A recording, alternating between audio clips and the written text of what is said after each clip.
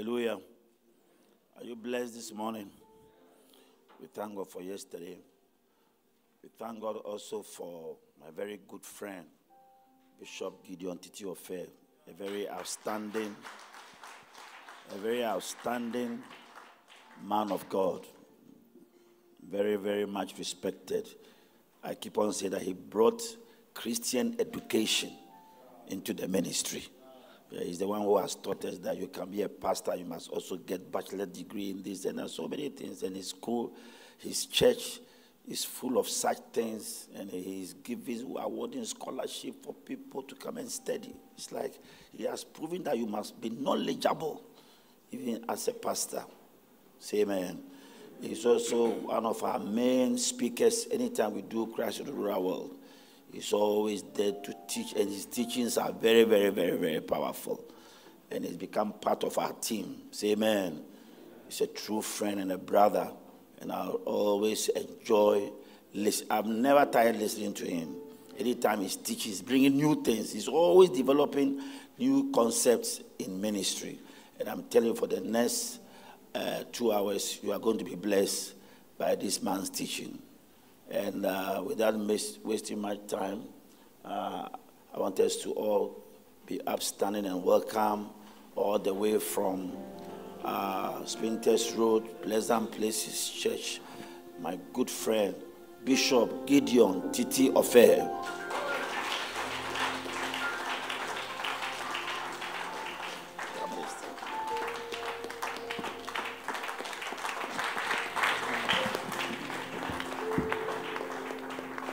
Amen. Amen. Blessed and excited to be here this morning. I salute um, Dr. Steve Mensah for the great work he's doing and all the leadership here. I remember when we came from Bolgatanga, I was there late and left earlier. And uh, he has been there for days. And the next morning, I saw him in church. I was considering not to go to church. I told my wife that. And then the early morning he was in church. I'm like, this man and the passion for the kingdom and his heart for the kingdom. Let's celebrate him for the amazing work he's doing. Amen. It's always a joy to be here and to share with you. Let's pray. Father, we come before you this blessed morning. We ask that our leadership character be shaped and our leadership skills be sharpened before we leave here. Speak, O oh God, to us through your word, Lord, in Jesus' name. Amen. Amen. God bless you. Fantastic. So, in tandem with your theme for this year, I'm speaking to you on building your shepherding capacity for excellent pastoring. Building your shepherding capacity for excellent pastoring. You can't talk about excellence without referring to Daniel chapter 6, verse 1 to 3. It pleased Darius to set over the kingdom an 120 princes, which should be over the whole kingdom. And over these three, and over these three presidents, of whom Daniel was one, that the princes might give accounts unto them, and the king should have no damage. Then this Daniel was preferred above, was preferred above the presidents and princes, because an excellent spirit was in him, and the king thought to set him over the whole realm. You know, when you hear expression like an excellent spirit, you would think that it was an anointing. But it was a behavior, it was a capacity. You understand? It was a capacity. And I want us so, what is excellence?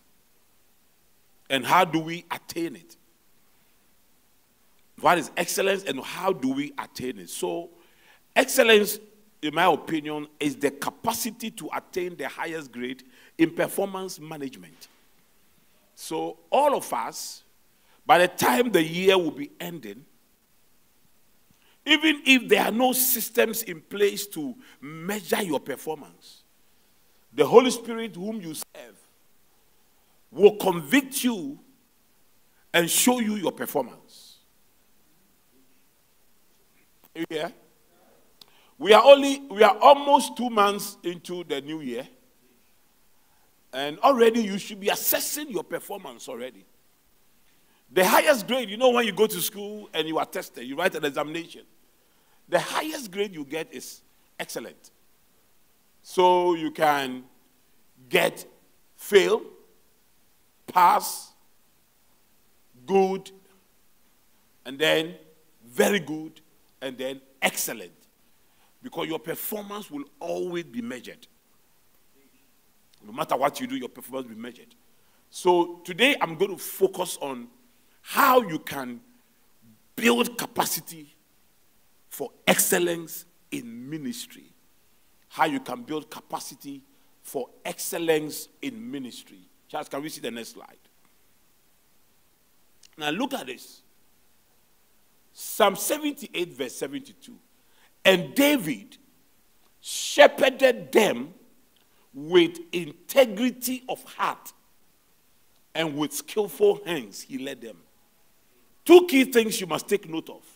One, integrity of heart. David shepherded them with integrity of heart.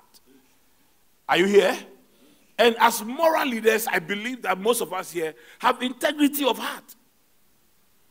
But being a good person does not mean that you will be a good leader. Are you here? They are very good people who are not good leaders. But they are good husbands. They won't cheat on their wives. They won't beat their wives. They will, they will supply every need in the house, but they are not good leaders. So the wife has to take over the house and run the house. If the wife left the children alone for him, the children will become wayward. You understand? So you can be very, very good. There to be one president of Ghana. He was a very good man, but he was not a good leader. So you can be a good pastor, or you can be a good pastor. We can all testify about you. Oh, this guy, eh? His morality, eh? He has integrity of heart. He's very loyal. But then, apart from we measuring you against morality, we cannot measure you against performance. It is called successful failure syndrome. You understand? So you can be successful in one area and fail in another area. Are you, are you, do you understand what I'm talking about? So you can have a very morally upright pastor pastoring a collapsing branch. Eh, eh, are you here? And all the church members will say, Oh, after our pastor there, he hasn't got any problem. Oh, he's a good man. Oh. We don't understand why the branch is not growing. Because the man is a good man. Is a good man, but we don't understand. And your congregation too, they don't understand that goodness is not a substitute for skills. You, you understand? Pastoral skills is different from having a good heart. So sometimes eh, our major problem is how we think good people can be good pastors. Okay? If we only look at pastoring as behavior, then you can be a good pastor. But pastoring fundamentally is behavior, but functionally, it depends on skills. Skills beyond good behavior. So thank God for behaving well. But please, perform well too. So, are you here? So David shepherded them with integrity of heart and with skillful hands. He led them.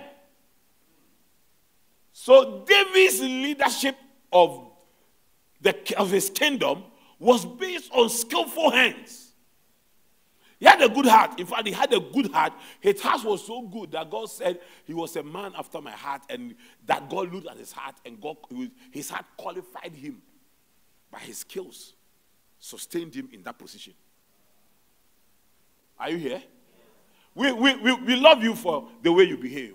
We celebrate your good behavior. And we thank God that you do not bring the name of the Lord and the calling of this church and the mission of the man of God here into disrepute. We thank you that your light will shine before men, that they glorify your Father in heaven. But please, don't preside over a collapsing branch and use your good name as collateral. Are you here? Do, you know if you're a good person, eh, you can easily win the hearts of people? The most difficult person to discipline is the good person who is not performing. He has sympathies. He has people who, are, who can easily sympathize with them. You, you, you understand? For them, you were a good person. But for Reverend Steve, he's looking for two things be good and deliver. Have a good heart, but have a smart mind too. So you have a good mind, heart, but you don't have a smart mind. And so Reverend Steve wants to take you from that branch. Then your branch leaders will come and say, Oh, dog, leave him for us. We are begging you. He is a good person. He is a good person. And they are 25. 25 people, but you are good. You even preach very good sermons. And so you are good. But you see, in ministry, good is good, but performance is better. Okay? So behave well, but perform too. So my duty today is to focus on showing you the modern skills that every pastor needs to be able to perform. You understand? So traditionally, and traditionally, there are pastoral skills like counseling, pastoral skills like naming children, uh, food, attending funerals. There are people who know how to do all those things. So. But now, because of the sophistication of members, those, in fact, now members can even pay to get psychologists and all those things to counsel them. In fact, there are some members in your church who will not come to marriage counseling with you. They will rather go and hire a private marriage counselor and they will counsel them. There are members in your church, when they even die, how to give them post traumatic counseling and all those things. They are good, but you may not have the skills. They will look for some doctors. It happens to all of us. You will see one of your members will come and be talking to you and will tell you that, oh, after the incident, I got some psychologist. You know, you know that you did not meet the need. So the person is there. But there are other key skills that a 21st century pastor must have. And it's going to help you build a very unique ministry. Okay, so today my duty is to take you through those skills. There are some I'll just brush through, there are others I will just I will go in details. Okay, so seven is, is skill, essential skills of highly successful pastors, the modern pastor. I've shared it here years ago. I summarized it here years ago. So today I'm just going to take my time. Good. So the first is tactical skills.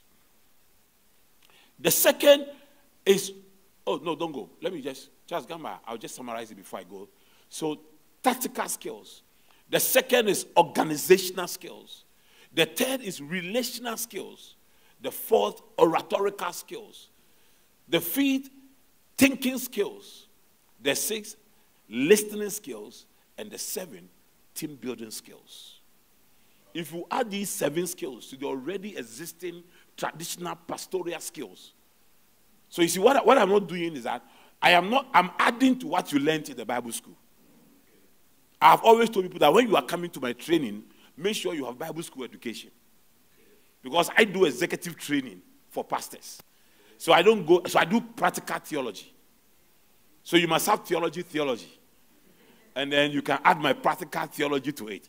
So you see, I'm not going to go into um, um, counseling skills, how to counsel, how to counsel a person with trauma, how to counsel a person who has just been divorced, how to counsel a person who just lost a loved one.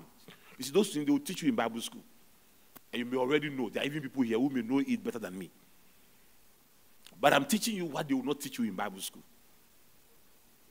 You, you, understand? I'm teaching you what will make you relevant both within the walls of the church and outside the walls of the church. Bible school prepares you for a mission within the walls of the church. I want to add to what Bible school has given you so that you can be also relevant outside the four walls of the church. Are, are you here with me? Good. So now let's take the tactical skills. You see, tactical skills is strategic positioning in this context in leadership. You see, what every one of you here should learn to do is how. So I'm going to talk on two levels. The first level I'm going to focus on your tactical positioning around Reverend Steve.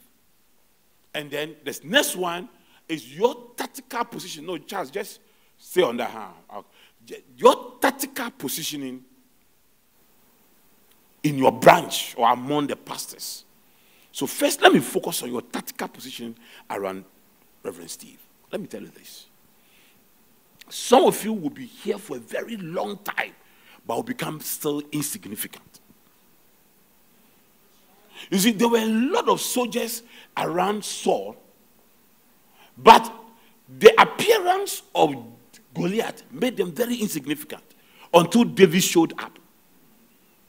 You see, your significance around a leader is to provide a solution to a problem he's struggling with. Are you here? Let me tell you this. You are not around Reverend Steve to become a problem he is solving.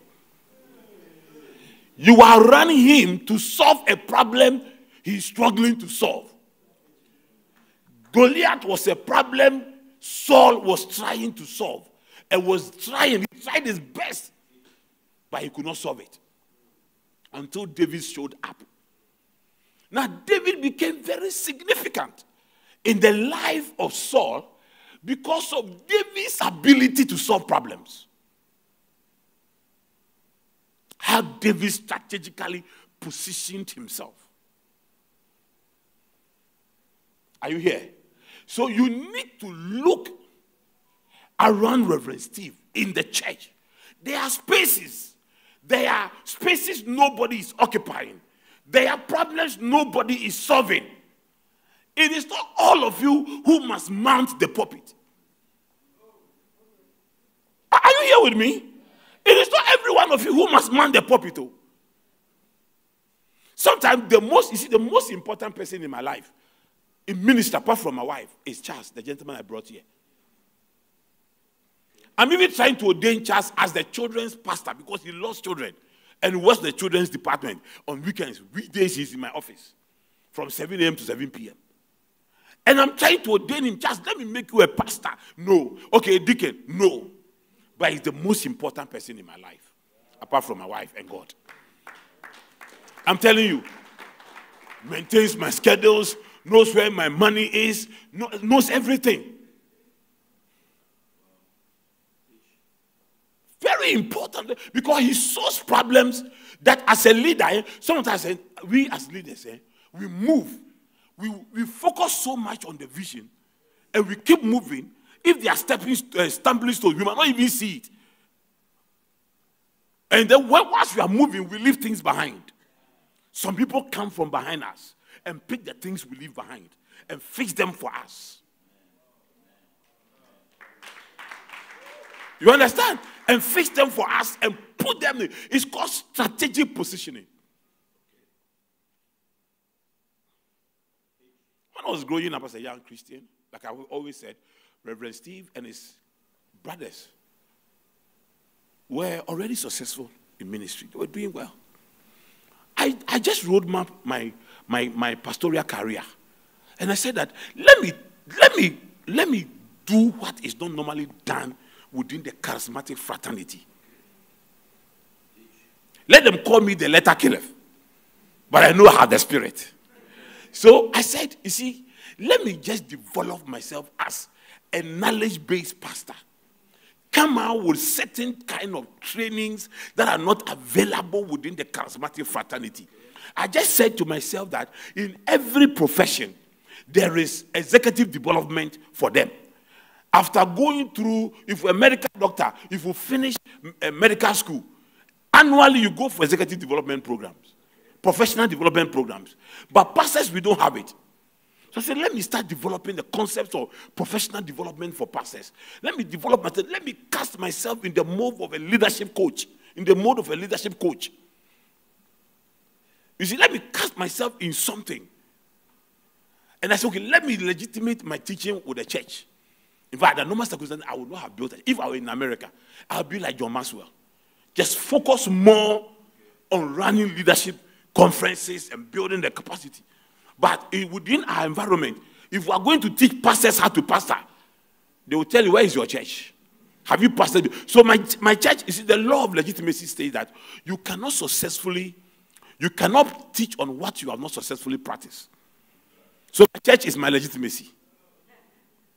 But my real calling is to do these things I'm doing. I love it. And in fact, honestly, do you know that I love speaking to smaller groups than bigger groups? When I meet small people, group of people, I share with them, we ask questions, I impart them. After several years, you will find somebody doing well somewhere, and you come to you and say, um, Bishop, you know, I came here and you taught something. I went to apply it, and the thing is working for me, and it's going well. I'm bringing you a tithe, and then that's where you say, okay, God is here. Do you understand? So you see, I I have become important to these men because I, I tactically developed myself to occupy the spaces around them. Are you here? And that's why every year Reverend will have me here. That's why every year when he's doing his crusades, he will call me and say, Titi, you are coming, oh. Titi, the way you will say it, you will say, it's not, an, it's not an invitation, it's a commandment. Titi, you are coming, oh. And then I have to be there for them. Are you here with me? So, around Reverend Steve, those of you who will be significant the next 10 years, 15 years, 20 years, and become almost indispensable in this ministry will be people who are tactical in their thinking. Tactical in their thinking. I've said that there are two S's that will make your ministry grow, that will make any church grow spirituality and strategy. Be 90% spiritual, but make sure you are 10% strategic. Are you here? It was the same strategy that Joshua adopted. They were elders whom God took the spirit of Moses and put on them, but none of them succeeded Moses. Because Joshua was tactical. Moses went on the mountaintop. He waited for him. Whilst others were doing other things, he waited for him. Others were prophesying in the tent. Moses was Joshua was pouring water on Moses' hand tactical positioning, or the same tactical positioning that Elisha adopted when he followed Elijah. There were others in the school of the prophets who never got his mantle until the man who understood, the man who understood how to strategically position himself around the man of God. So strategic positioning is very crucial. Don't look for the pulpit. Don't look for any big thing you want to do. Look, because listen, Listen, if Reverend Steve gives you his puppet, you will never measure up to 10% to his experience. So, so, so sometimes when he's giving you his puppet, beg him that I would rather pray. Because, because when you come in, you expose your weakness. Eh? You expose your you see the simplicity, the humorous way, the connection he has with the congregation when he is speaking. You, you get it? So if you sit down there, you say, hey, hey, they have to let me preach some. They have to let me preach some. Ask David why he refused Saul's uh, armor. I said, this is too big for me. It is too big for me. Please take it off me. It is too big for me. Take it off me. In fact, Saul trusted him when he made that choice. Saul realized, okay, he doesn't want, because in the armor of Saul are his um, army badges. And once you wear it, you have taken his position. David said, No, no, the position you are giving me is too big.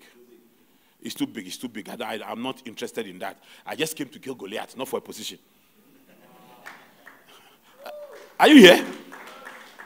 Now, sometimes you wonder that, but if I don't get a position, who will see me? How will I get to where I have to get to?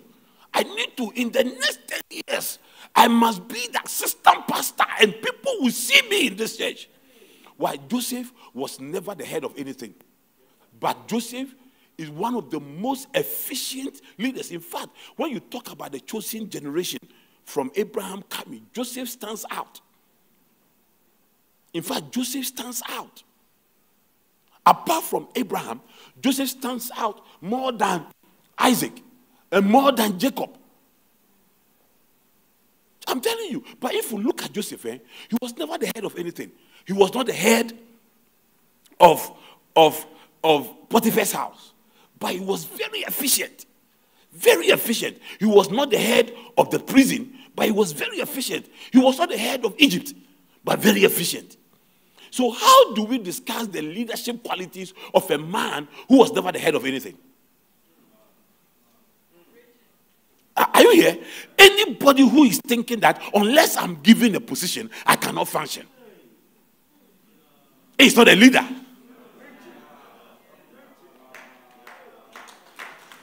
Are you here?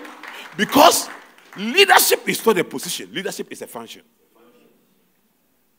Positions are only created for leaders to give them space to operate after you have shown your leadership qualities. When we started church and we're young pastors, if we saw a nice man with a nice car came to church and was successful in his office, we assumed that if he became a leader in the church, the church will grow and will make impact. We just realized that you appoint these people, you anoint them with oil. You can pour a gallon of uh, olive oil and pray for three hours on them. All they will do is to have a special seat and sit down. And now they want, when they are coming, they want ushers to carry their bags like the way they will carry pastors' bag. You, you understand? Because leadership begins when you are able to function without a position. And you identify spaces around the person you are following. And you fill those spaces for the person. And you are not interested in yourself, but interested in the person. I've said it here before that the greatest and the most efficient way to learn leadership is through followership. But it is where you follow a leader better than you, greater than you, more knowledgeable than you, and you put at, at that leader's disposal your skills, your abilities, your resources to promote his vision. And in the process, you learn on the job. Are you here? I'm a very well educated man. But 90% of the things I know, I didn't get them through education, through the classroom. I got them through experience on the field. On the field. You understand? On the field. I go to Christ the Rural World mission and I'm there learning. I'm there learning how can a man be so selfless like Reverend Steve, create a big platform and decides that people should just come on the platform and yet the thing is successful and yet he's recognized and yet he's valued and yet people know that he's a visionary. Do you understand? How some of you in your branches, you don't have Reverend Steve's picture, it's your picture. Sometimes even if you have him, he's at your back. And you are there like this. you are not popular, popular, you are not a brand, nobody knows you, nobody knows you so why, why, why is your picture there? uh, do you understand me? Hey, how many of you know the Christ Embassy pastor in Ghana? How many of you have seen him face to face? Because you see, Nigerians are very smart. They know that Christ is the brand. He appeals to people more than them. What they are looking for is the crowd. And when you get the crowd, you become famous. So Chris picture. We see Ghanaian pastors who are pastoring branches at Fabrodier Betomi Chalk. You see them and their wives.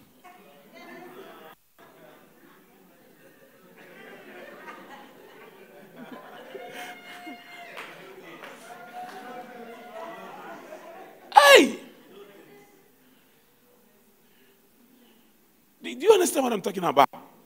So you, you need to learn how to strategically look, look out for. You may be in a branch, but your presence at the headquarters and the events at the headquarters must be felt. Must be felt. Are you here? It's not for you to sit somewhere and look at all the loopholes around Reverend Steve and begin to complain and begin to criticize. Hey, I saw? Yɛba pastor synod koraa yɛma yɛmbɔ opening prayer. Pastor synod eh as you call? Pastor synod woyɛ opening prayer no bi woyɛ bi opening prayer kɛkɛ bɔ yɛma yɛnyɛ wodeɛ last wonya closing prayer yɛyɛ nti nti yɛka no ayɛ din yɛka no ayɛ din wonya closing prayer yɛyɛ nti yɛka no ayɛ din but you see the reason why he got closing prayer to do is because ɔyɛ din by he works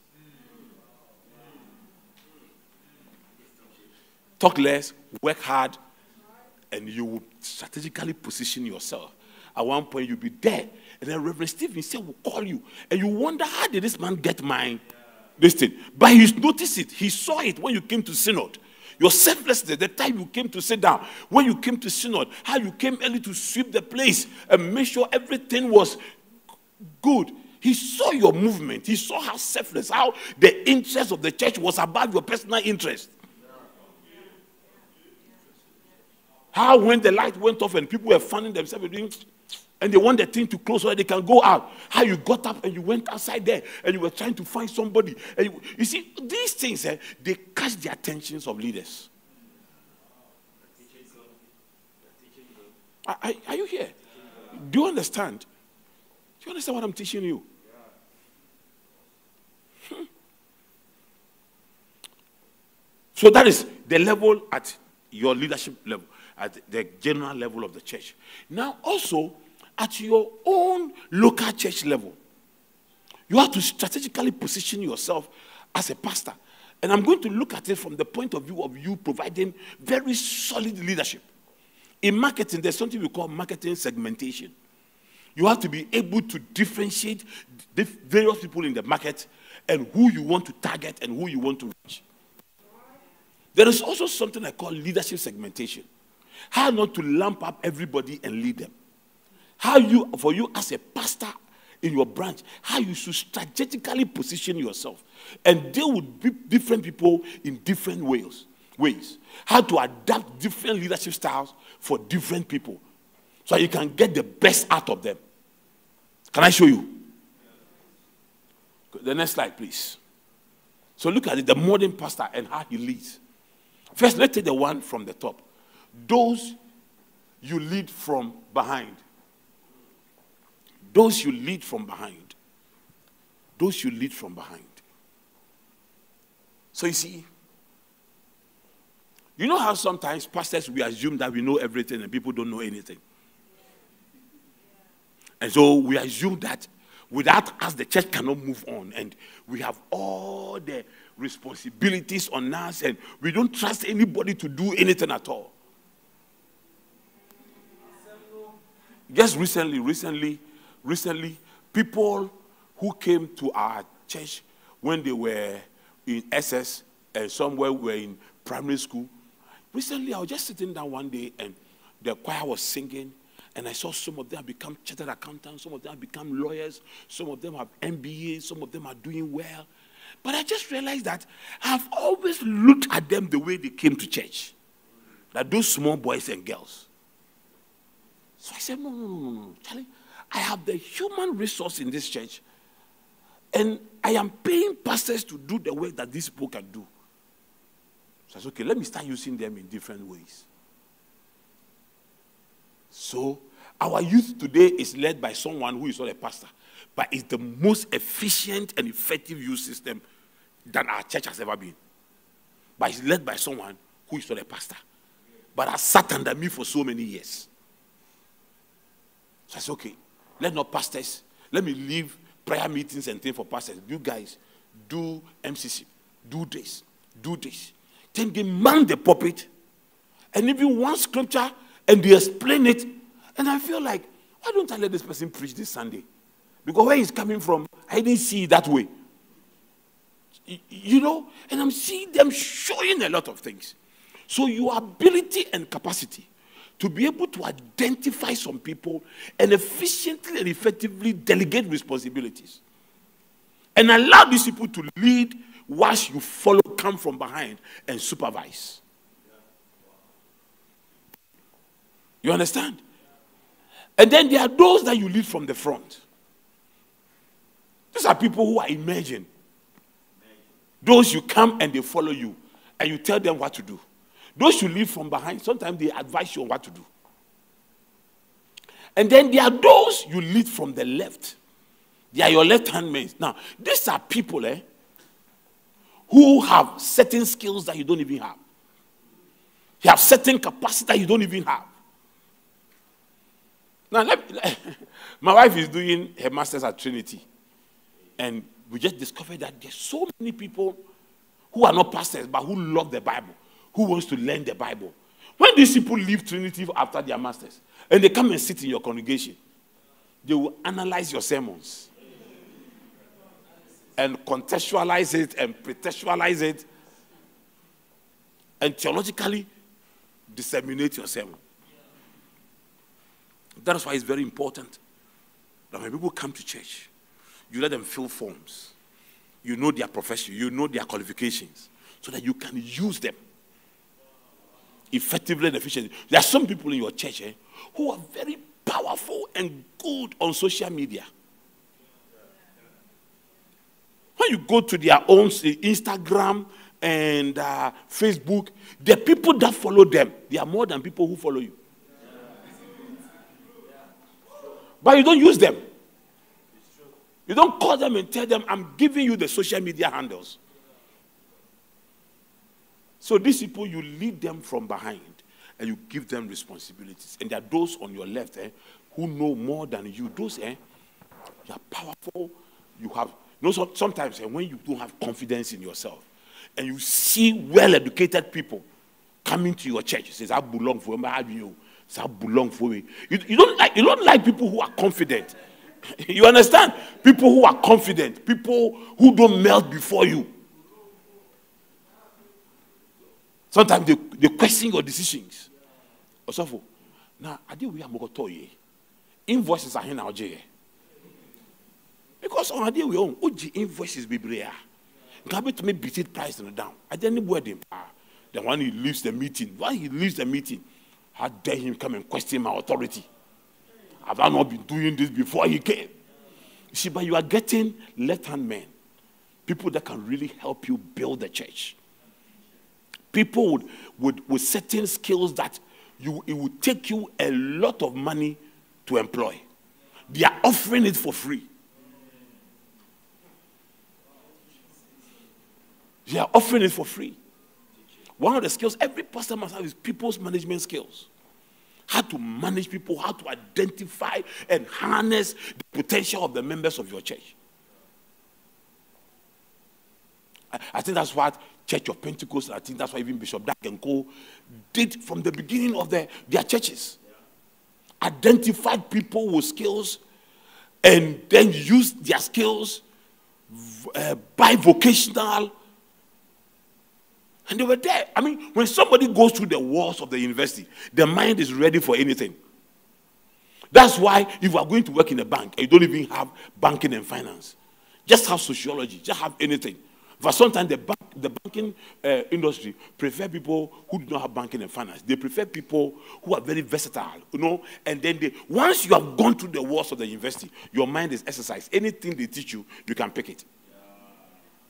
That's why, that's why some of the most successful pastors in this country are not pastors who went to four-year theological, who do four-year theological education.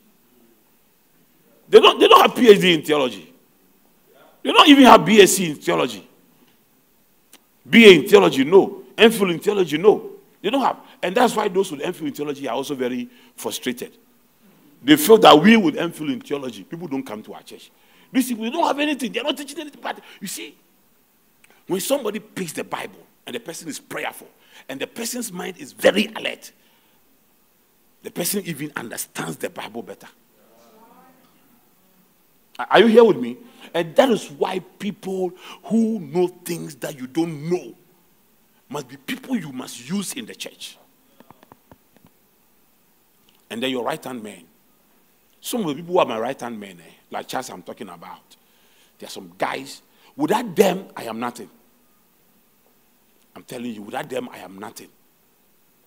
How they control the system and make sure everything is in order. Recently, um, had a group of pastors who felt that one guy in the church was becoming too powerful.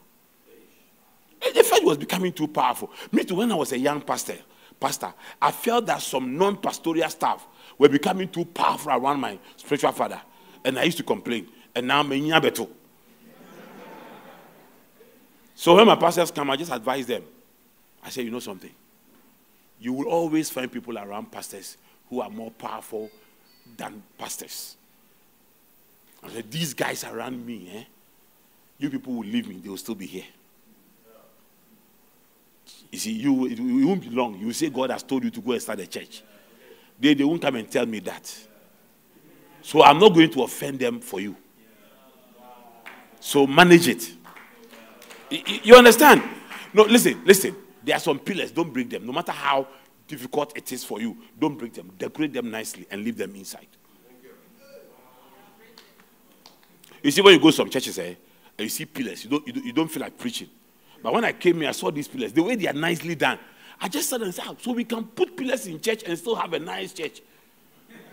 and the way they are well positioned. You understand? So sometimes eh, you find some people in, around pastors who are very powerful. They are powerful.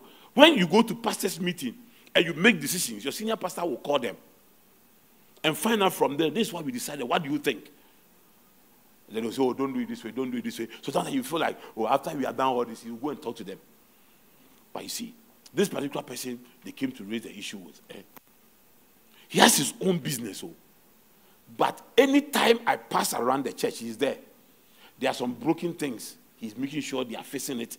There are things that are not well done. He's making sure they are doing it.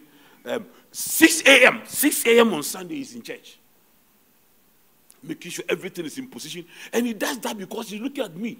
Does, daddy doesn't like this. When he comes, this thing is done. So when the pastors are later on arriving, and then you come and you tell him, do this or do that, he now feels that it is your duty.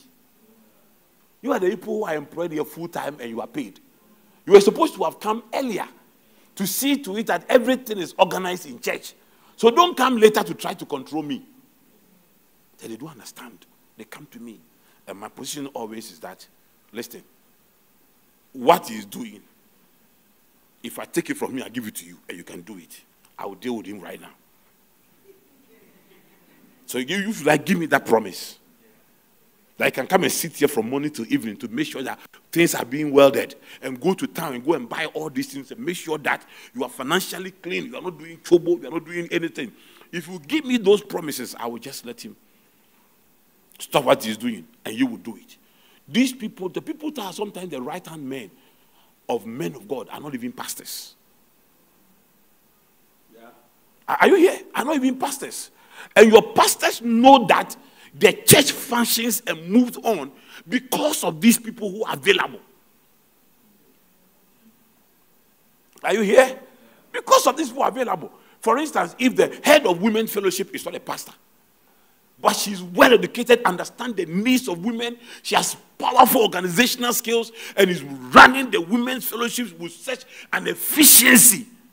There's no way Reverend Steve will be making decisions without consulting that person. You understand? The head of your men's ministry is not a pastor, but has learned a lot from full gospel businessmen fellowship and has brought the thing into the church and is organizing the men and putting the men well and is putting his money into the men's fellowship and is bringing his friends for the corporate world. Then you come and say, he doesn't respect us. He doesn't respect us. So I should go and call that person and tell him that I respect the pastors. Once you start demanding respect, you know you have failed. You understand?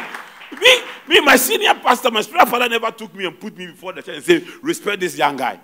I was only 22 years old when I became a pastor. My shoe was like an Angola shoe. the shoe that makes you become bow legged. You, know, you walk like this. One trouser, one trouser. Oh, some Kipling trouser. And all this place has torn. And the tailor taken to tailors, and the tailor was tired. He said, No, no, no. This one. So I used to sit down like this. I'll cross my legs ah, in church. During those days, eh, you don't know whether you, are climbing the stage. People will see your back.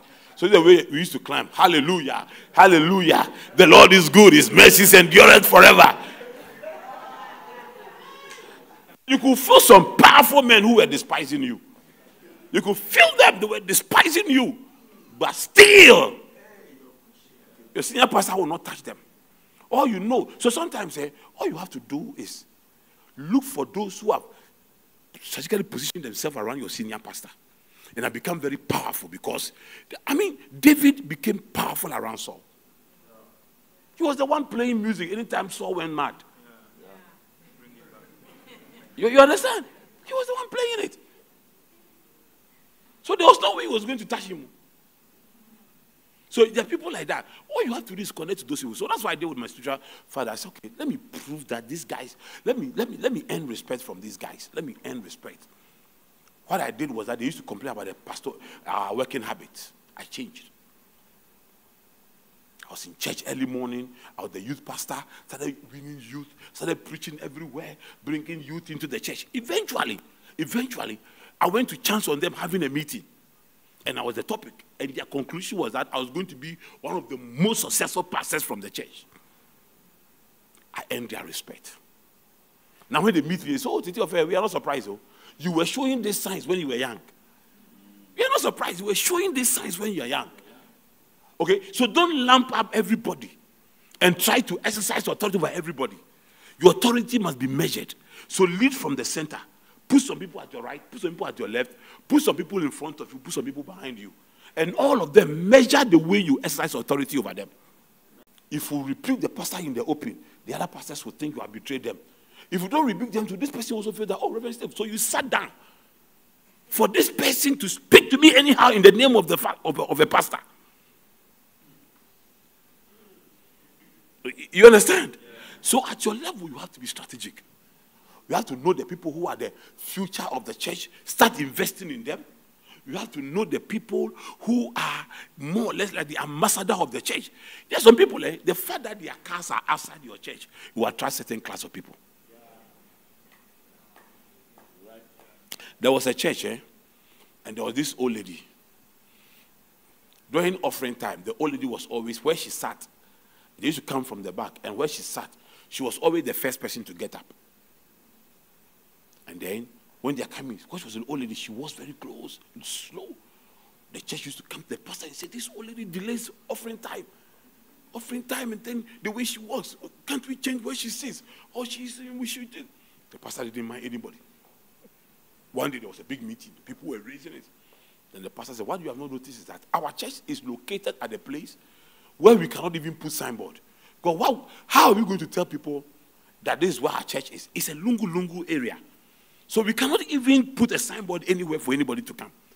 But this old lady is so popular in this village that if we say we go on crusade, how do we direct the people?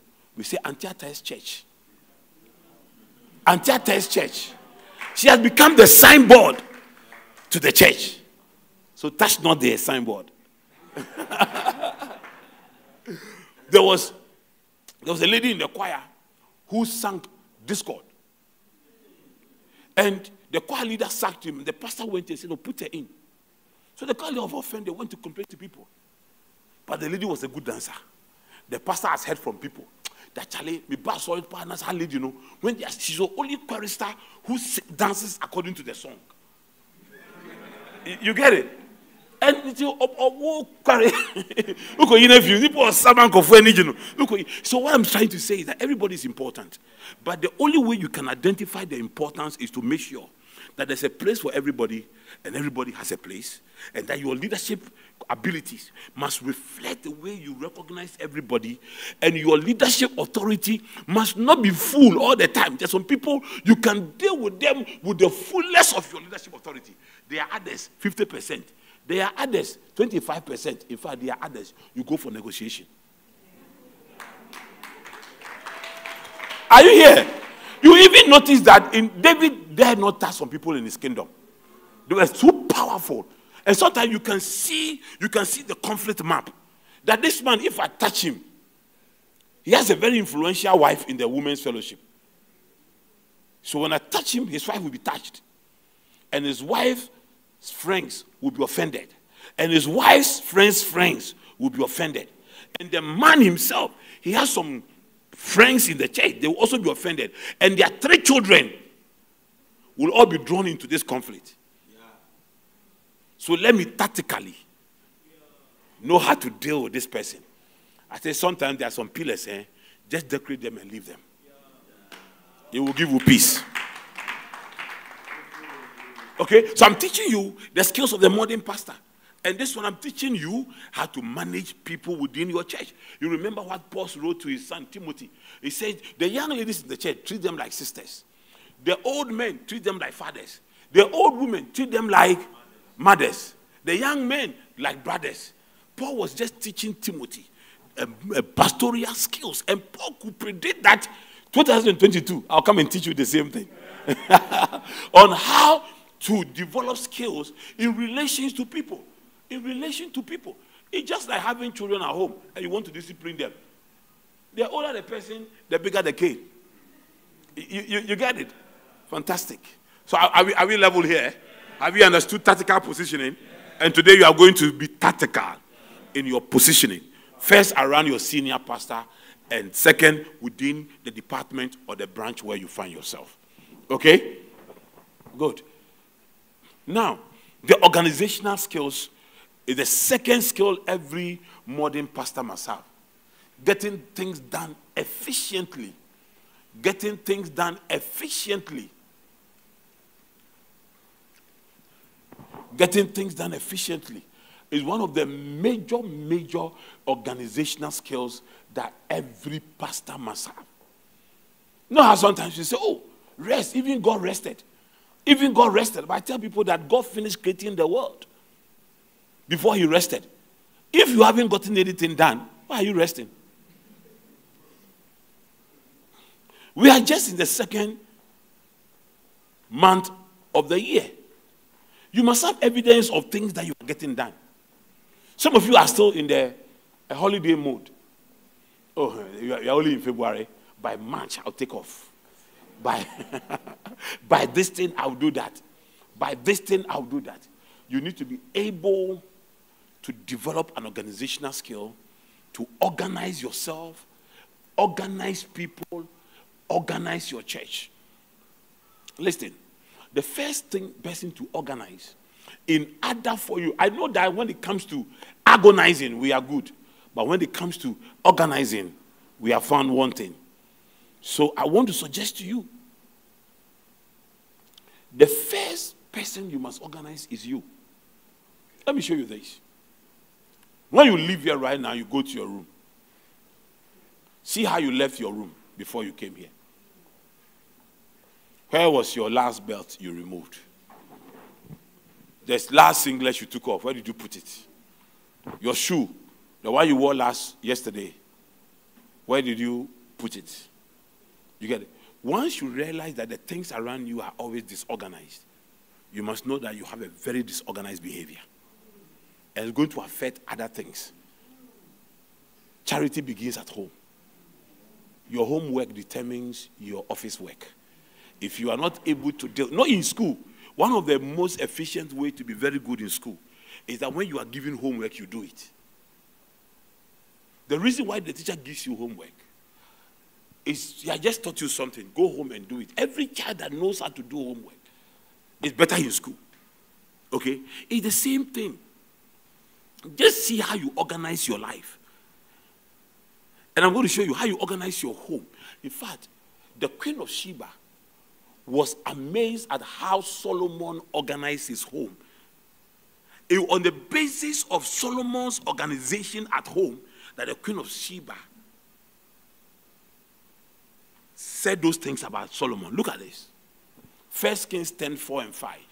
When the queen of Sheba saw all the wisdom of Solomon and the palace he has built, the food on his table, the sitting of his officials, the attending servants in their robes, his cupbearers, and the burnt offerings he made at the temple of the Lord, she was overwhelmed.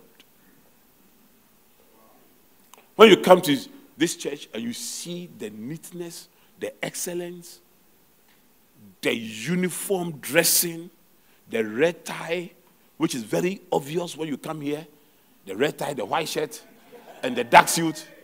All those guys that sit behind Reverend Steve. You, you understand? Recently, a friend of mine was with Reverend Steve and was coming to visit me. He was coming to visit me, and so he came to visit me and we were chatting. And we're just discussing with Steve and His Excellence. I said, so even you go to his church, the protocol guys and the way they dress and everything, they are always in red, red tie and then dark suit, white shirt. You say, ah, is it one of them who drove me here? I said, yeah, you think he's going to work in a bank? That is a protocol officer. then when we got that, this was a guy who brought this thing and sat down there smartly dressed. You, you get it? It is the reason why CEM is such a big thing in this country. The organizational capacity and the ability of the senior pastor, which starts from the branch he pastors. You understand? Which starts from when, you when you see these things in your life, you can get bigger things done. You can get bigger things done. Sometimes you even your own personal life you can organize. How can you organize a branch of the church? How can you organize? I say, if you like, look at your bedroom when you get up. Look at how many days you have slept on your bed sheet. I am brown. You still can sleep on it comfortably. Oh, yeah, yeah, I'm telling you. You still can sleep on it comfortably and snore and dream. It's the reason why anytime you dream, you're working on the baller. because the best shit are you feel, damn you feel. I always tell the young ladies in my church, if you go to a man who wants to marry you, and the man always wants you to come and wash for him, clean for him, put his house in order, and all those things, note that you are entering into a very chaotic life. Start washing in, also, it's not his life. He can't do it. So charity begins at home. If you want to get things done, want to get bigger things done, Get the smaller things around you done. Discipline yourself. Get your prayer done every day. Get your Bible study done every day. Get the work of the ministry done every day. As you put all these things together, as you do these things together every day, they end up becoming something big later. Okay? Some time ago, some people came to me to interview me. And then they said, got a place. They said, Bishop, can you tell us the secret of your success? Then I tried to look for something to tell them. I wanted them to know that I'm a smart guy. I tried, sir, nothing was coming. So I actually asked them to please cut, cut, cut, because it was pre recorded. Let me think about something. What I was thinking about, the Lord said, is my grace and common sense principles the everyday choices you make. It was there I sat down, I looked at it and said, Yeah, have you made any major, like some big bang theory thing? You know, like something just happened and I did something big and I became successful. No.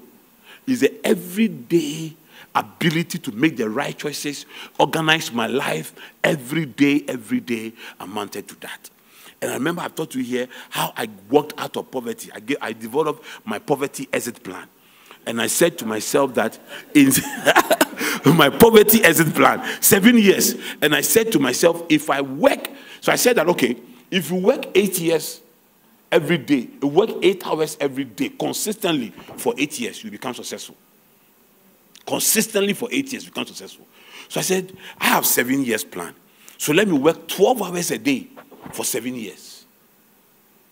And I developed my poverty exit plan. I called my wife. I showed my wife. I know you are tired. Give me seven years. I'll get you out of poverty. I showed her how it's going to go every year, how it's going to go. By the seventh year, we had a university. From, and when I was telling him the church was in the wood, I was talking to her, the church was in the wooden structure. We were living in an uncompleted building, no water, no electricity, no toilet facility. But I did nothing extraordinary. The everyday choices that I made 12 hours every day. I left home 7 a.m., came back home 7 p.m.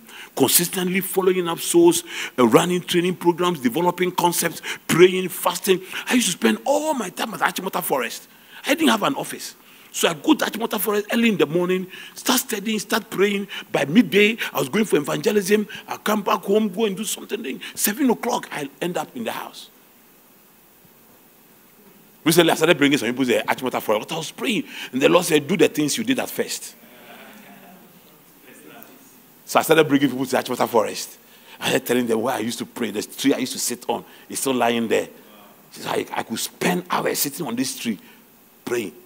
The everyday things you do, taking one step at a time, will eventually result in something.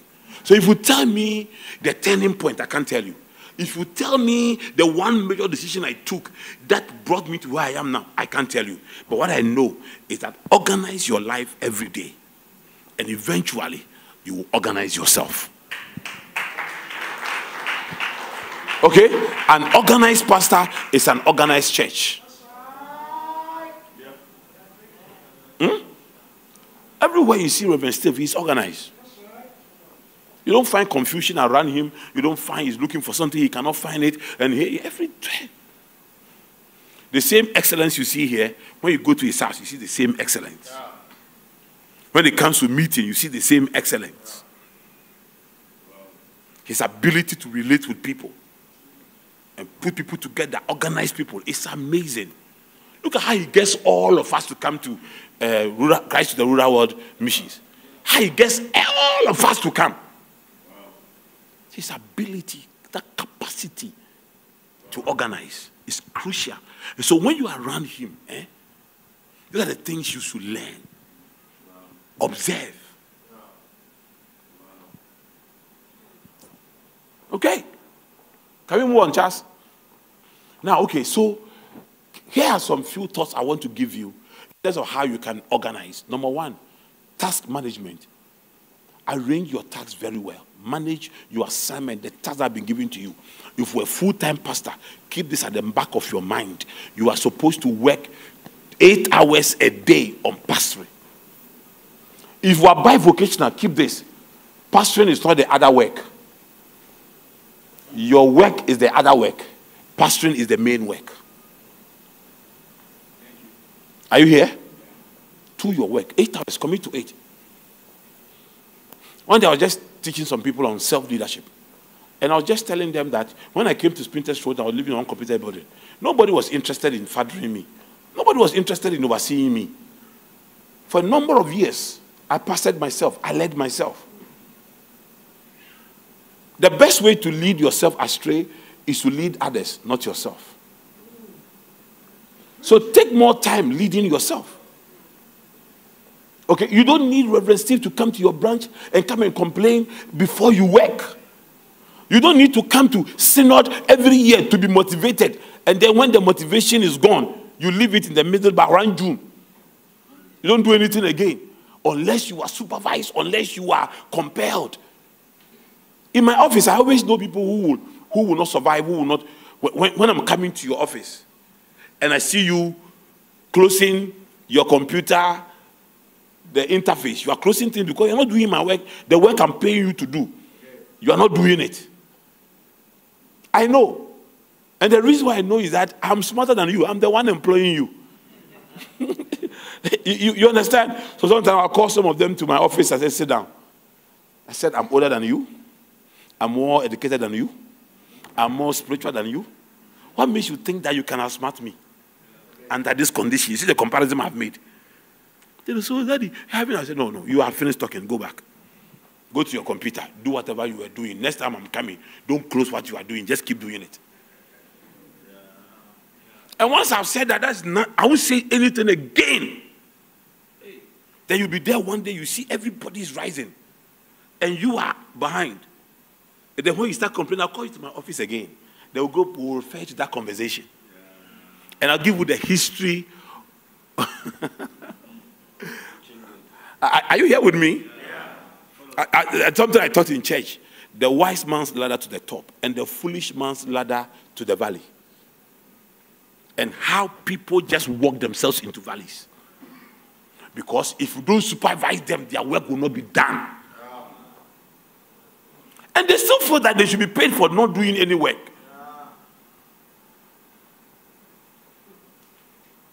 Are you here? I used to belong to a church where the senior pastor was in was based in the UK. My senior colleague was always, we are all living in the same mission house. He was always in his room sleeping. I just said to myself, I, what kind of work is this? A work that there's no supervision.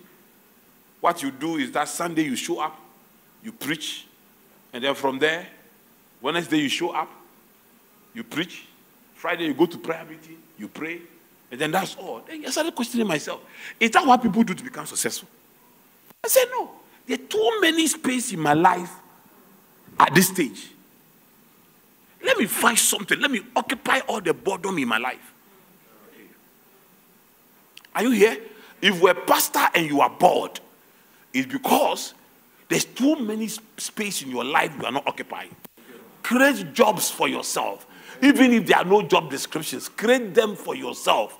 Give yourself job description. Look for the open space in the church and occupy and work.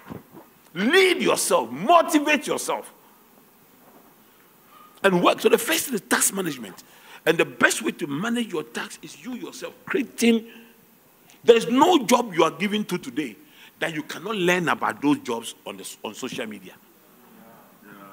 I learned pastoring at Challenge Bookshop. Every money I had, I bought a book. Every money I had, I bought a book. I go to Challenge Bookshop, buy books about pastoring, spiritual gifts, how to build teams, how to manage a church, how to do this. I'll buy them, read them, how to do evangelism, how to create evangelism school. By the age of 26, I was a principal of a Bible school. I have self-taught myself that I could become a principal of the Bible school and teach almost the whole subjects in the Bible school. I'm telling you, self-leadership. Self-leadership. You're busting out back one. You're your pastors meeting. Eh? And. You see, it's, it's a sign that you can't lead, lead yourself. You know, sometimes eh, you must become a model that Reverend Steve can use. He should come to your church and see things you are doing and say that, you know something, you know something. Next year's synod, I want you to come and teach the church what you are doing here. Come and teach the other pastors how we brought you to me Chalk. Without anything, and you have been able to build a chapel, you have been able to buy instruments, and in this village, you have been able to raise 100 people in this village, and you are bringing tithe to the headquarters. You are a model pastor. You are a model pastor. Come and talk about how you have made things happen. If we make things happen for you, you are nobody. I'm telling you, you are nobody. You see why Ofori-Atta is looking for e-levy? Because we don't have money. As a country, we don't have money. We need to get money. We are broke. But if we like, let's have money. Put anybody on, you will lead this country. The reason why America, anybody can be president and the country will still stand. They are rich. The systems are in place. You, you, you get it? Huh? So where you become successful, real success, comes from people like Obama who build themselves. They build themselves. So because you, before you can become president, you must show evidence of you having been able to become successful on yourself. So you can say anything about Barack Obama. He's not a Christian. He might even be a Muslim. He might even support gayism and other things. But there are some principles of success that even if unbelievers apply them in their work, they'll still become successful. So all these things, you sitting down and looking at Bill Gates and looking at the Facebook founder and thinking that they are all Illuminati. They are all Illuminati. These people, they are Illuminati. That's why they are rich. Illuminati. If you like, eh, study their work habits and, and put the same work habit in ministry, you become successful. I'm telling you. The last time I was in Reverend uh, Eastwood Best conference, I was talking about work habits, and I was saying that, see, Reverend Eastwood is a pharmacist. If he hadn't become a pastor and used the same work habit with which he's doing ministry in his secular job, but now he would have owned a manufacturing pharmaceutical company. I'm telling you. If Reverend Steve had not become a pastor, his work habit, whatever job he did, he would have become a, a big, successfully big in whatever he did. Your work habit is crucial for the success. When you are given a job, do it and do it and do it from the bottom of your heart and do it well. The Bible says, do everything without complaining. Do it from the bottom of your heart. What is the essence of we giving you everything before you start a church? I always tell my, my branch pastors, see, I came to Spintex Road and I had nobody to give me salary, nobody to give me anything, and yet I built a church. I said, when I put you in a branch, have the same mindset. Pretend as if you have no headquarters and you are just starting on your own. How will you start it?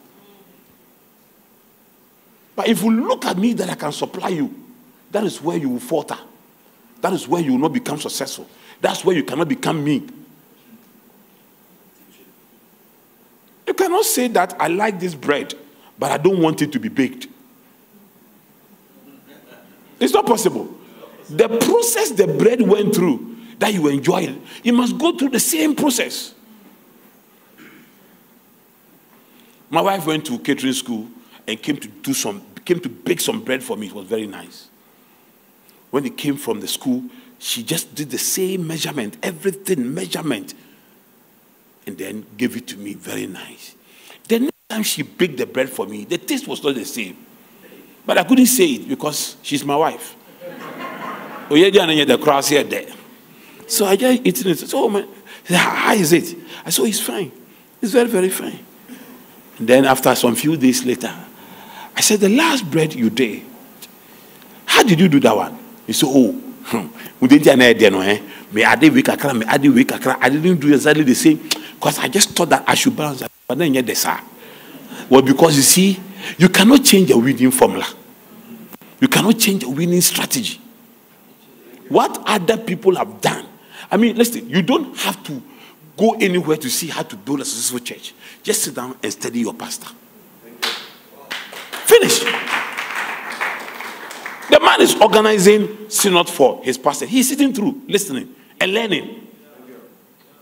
Sitting through, listening. When I go to any of his conferences, no matter how difficult the conference is, day and night, he will still come and sit down and listen and go through everything all of you are going through.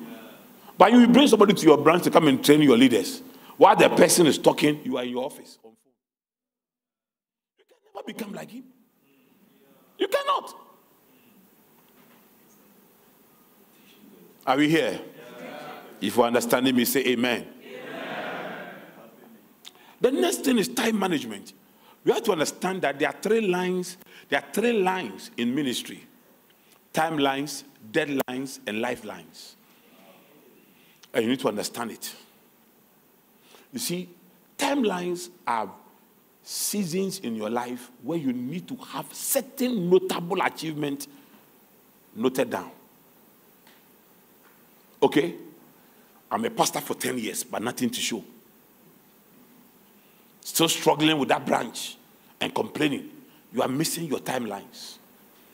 I'm a pastor for 15 years, nothing to show. I've been given a branch for five years, nothing to show. Nothing to show. I'm just sharing with you the seven years and how I transformed my life. It's a timeline. Okay? And I transformed it. It's a timeline.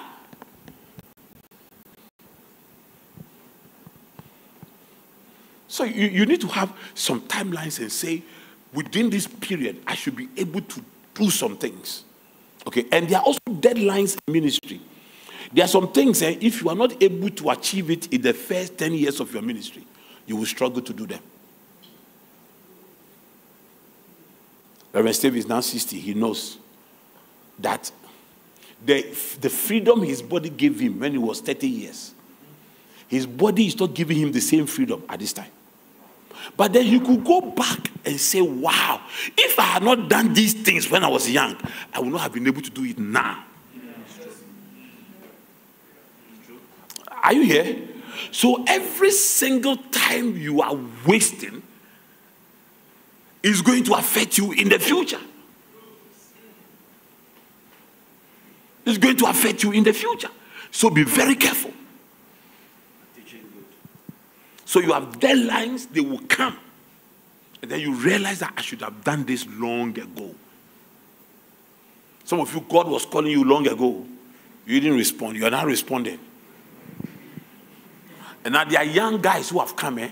The way they preach and how they scream. You know, our, uh, our, we, we are noisy people. Africans, we are noisy people.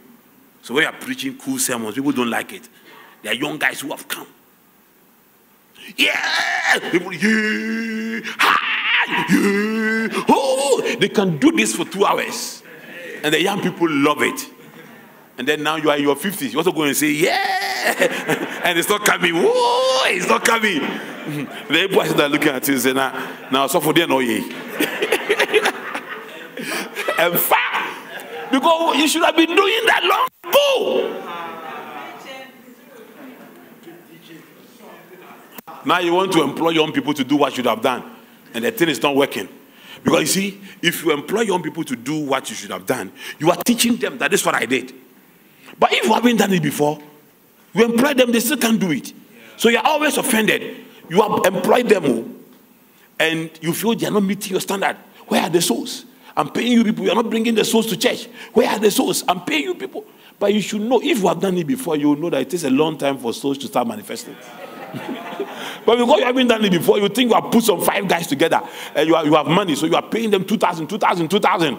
And you think that that 10,000 must have given, should have given you some, some souls by now. And they are not giving the souls. And you are offended, you are angry. You want to fight, you want to create problems. They won't mind you, they'll be laughing at you. When you go, they will laugh. Kwa, kwa, kwa, kwa, kwa. Chale, oluma, oluma, no. So no. So don't come to that point where your time is past and you are trying to live in the past. Do it now. But however, that's why we call lifelines.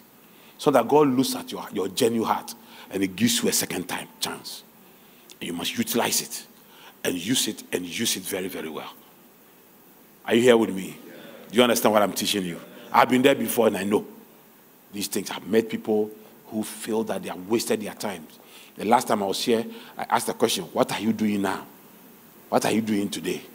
You are either doing yesterday's things today, you are alive, you are late, or doing today's things today, you're on time, or doing tomorrow's things today, you are ahead of time. It's those who are ahead of time who succeed in ministry.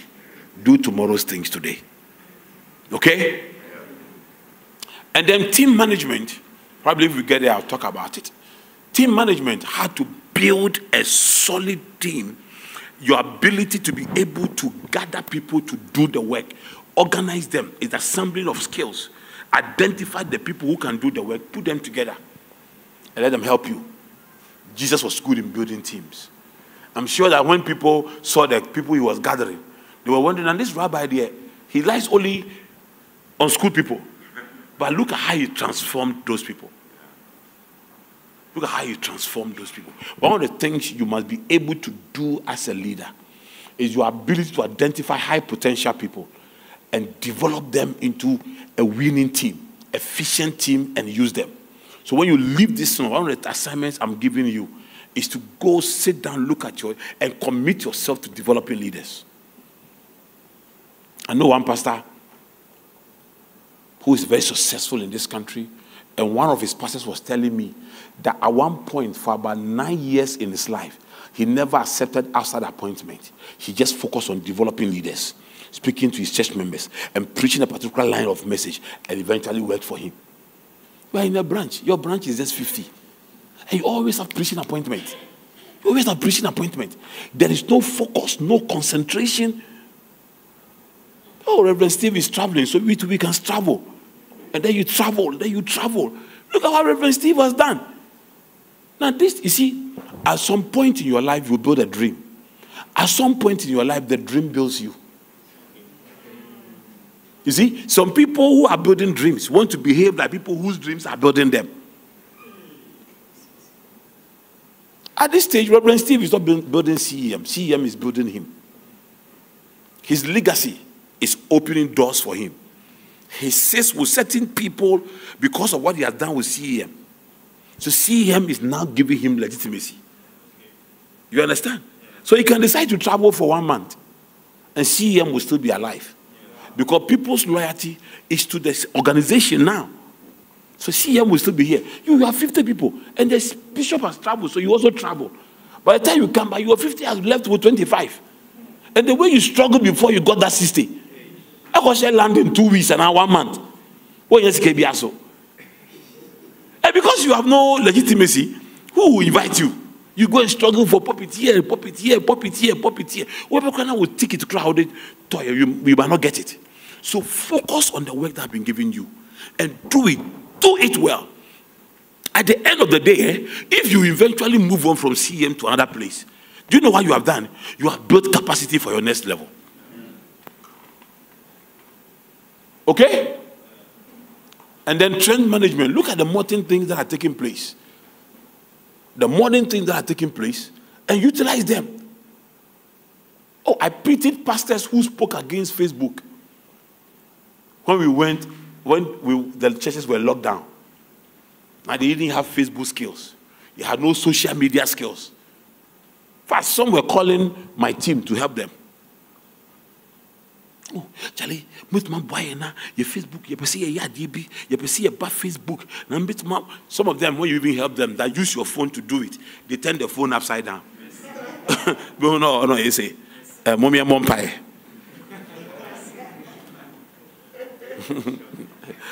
Are you here? Well, haba, haba, Nitias, yes, yes, sir. I'm telling you, you see that your smartphone, that your smartphone, you're a young pastor, you have the energy, you have any, any, anything. If you like, start praying at a certain time every day for the next one year. You start having people who will join you in praying.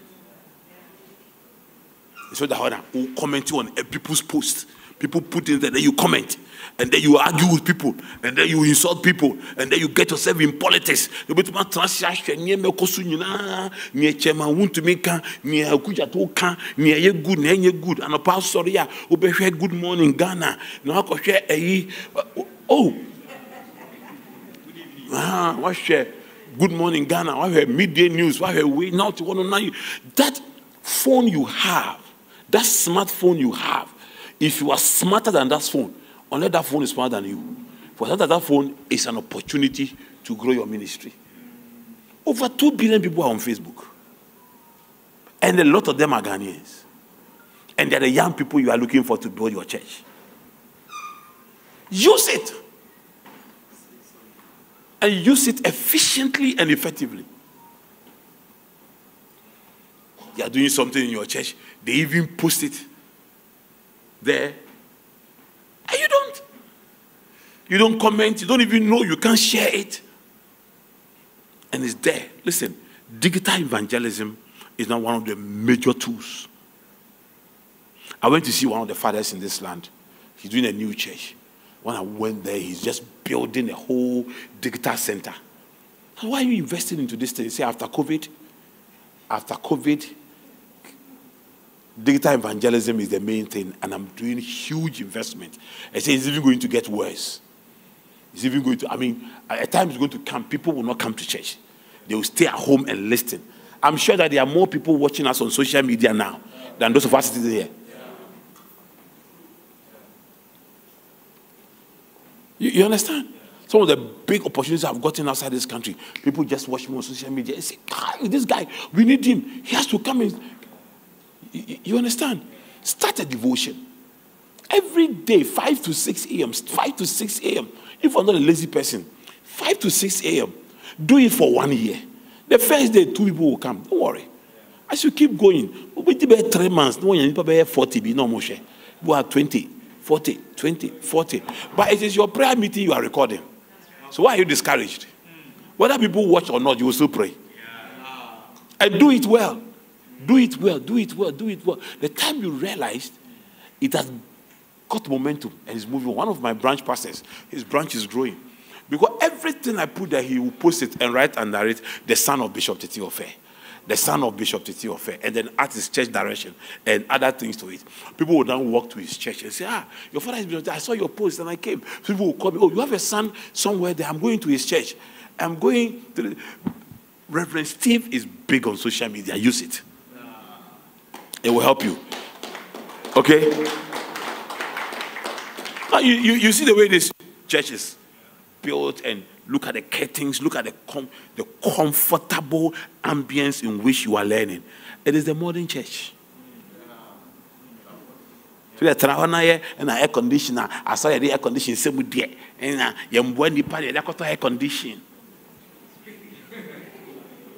When you come to a place like this, lie on the altar and pray The Lord, give me this grace.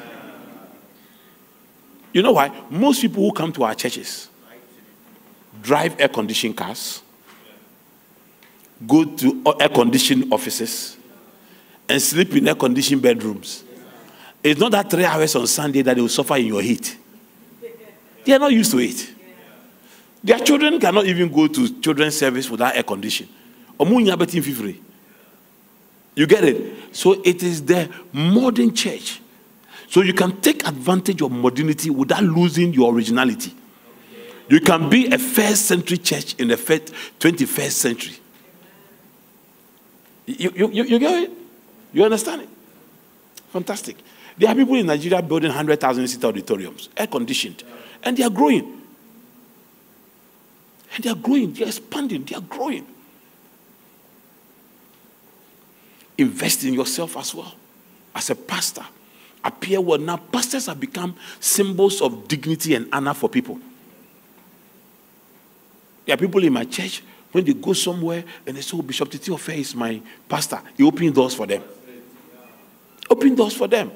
One of my pastors was going to marry a very well educated young lady. When the, the landlady went to introduce the guy to the father, the father said, No. Ah, what's that for small boy? No, no, no, no, I won't agree. So the guy came to them, was worried. I said, Do tell him you are pastoring my branch. He said, Oh, that's a mistake I made. I said, Go back, tell him you are pastoring my branch. Went back to visit the man again and said, oh, I, I'm, a, I'm Bishop Titi first son. I'm the pastoring his branch. He said, Eh? Are you sure? He said, oh, if you like, I can call him right now. So he called me, I spoke with the man. That was how he got the girl to marry. you, you, you, understand? I have some Niger- Nigerians in my church. Sometimes, you know, they go somewhere and people want to doubt them. So, Bishop is my, I'll, call him right now. They call, Daddy, please speak to someone for me. Then I take the phone, I speak. People want you to become a symbol for them. Build yourself, develop yourself, create avenues for yourself. Be strategic about who you want to become. And be intentional. Be intentional. Things, things did not happen to us, we happened to things. And you have to learn those things. And then trust management. One of the key things you must learn to do in ministry is how to manage the trust people put in you. Okay? Make sure that people are not disappointed. Your public appearance should be the same as your private life. Okay? I am telling you. One night there was a rumor about a pastor. And my wife, I went to see my wife praying and crying. And then I said, what is happening? He said, I'm praying for this pastor. I just read this about him on the, and I'm praying that it shouldn't be true. It shouldn't be true because, honey, if this is true, can you imagine how many people will leave the kingdom? He's too big, he has too much influence. It shouldn't be true. It shouldn't be true. And she was crying, you know. It shouldn't be true. My, my wife is more Christian than the Pope. I, call, I, I call her Sister Spirit. And she was praying. So I left her, locked the door, and said, Cry on somebody's husband. You, you cry, pray. And she came, unfortunately, the case died. It wasn't true. See, honey, can you imagine how it would have affected people? So you can imagine, you see, people, the people want, you have to come there, you have to become a man of influence, a woman of influence, but you have to build it. Build it and come to that place where people can trust you. That's why sometimes eh, I advise a lot of young pastors that if you are in a place like CEM, don't go and start your own church. Because you will start your church, it will take you 10 years for people to trust you. When I came to Spintex Road, young boy in that building. It took years. You go for evangelism. People who now open their doors and want me to come to their house and that you haven't visited me. They used to open their gate like this and stand outside with me. Uh-huh. What do you want? I said, oh, my name is Gideon Titi Ofei. I just started the church here. I want you. Okay, okay, no problem. Give you the and they will close. There was no trust. It took a long time. If I had gone to Spintex Road with ICGC, Ashen, CEM, I would have been 20 times better. But it took me the first 10 years to establish credibility. You get it? To establish credibility. There was a guy in our church. When you give him chance to lead prayer meeting, come and stand there. We are not seeing miracles. The, the dead must be raised. The cripples must walk. Let's pray. Let's pray. We must see this in this church. You must see this in this church. One day I called him and said, You know something? You want to see the dead raised, cripples walk? Why don't you start your church? and raise the dead and let the cripples walk. I'm still building my capacity to raise the dead, but it looks like it's frustrating you. He left the church to start a new church. It's been over eight years now. I'm still waiting for that cripple to walk. The cripple is not walking. And he's locked up in a very small place. I say, sometimes I can see him on Facebook. I call him, this boy will die. oh. This boy will die. He's going to kill himself. Oh, he'll go and wear something like a bishop, make himself like this. Praise the Lord. I say, look at him. and then your trait management is very crucial. Let me tell you this. See, we're all born with some natural tendencies. Some people are talkative, some people are quick tempered, some people have, I mean, different things in us. There is nothing bad about who you are. It is when it goes through a situation and it comes out, how it comes out. You see, somebody is a talkative, but makes money talking. Somebody is a talkative, gets problem gossiping. They all talk. One talk about ideas, one talk about people. So talking itself, being a talkative itself is not a problem. Recently, I did a conference on Facebook called Talkpreneurship. You watch it, eh? Talkpreneurship, how to build a public speaking business. And my argument is that I was born a talkative. And I've decided to use my talking to build a public speaking business. And it's working. I'm hosting General Petraeus, former CIA director. I'm holding him on a webinar in April on strategic leadership. The man is charging me big to just show up on the continent of Africa on social media for one hour. He's making money just talking. And even when he quoted the figure, I said, no, this one is Africa. I say it's 120th. Because it's Africa, I've divided it into 20, and I'm giving you one. Oh, yeah, take it or leave it. I was getting one of the first ministers of one of the, um, uh, from Scotland to also speak, a lady. Was first minister, means former prime minister.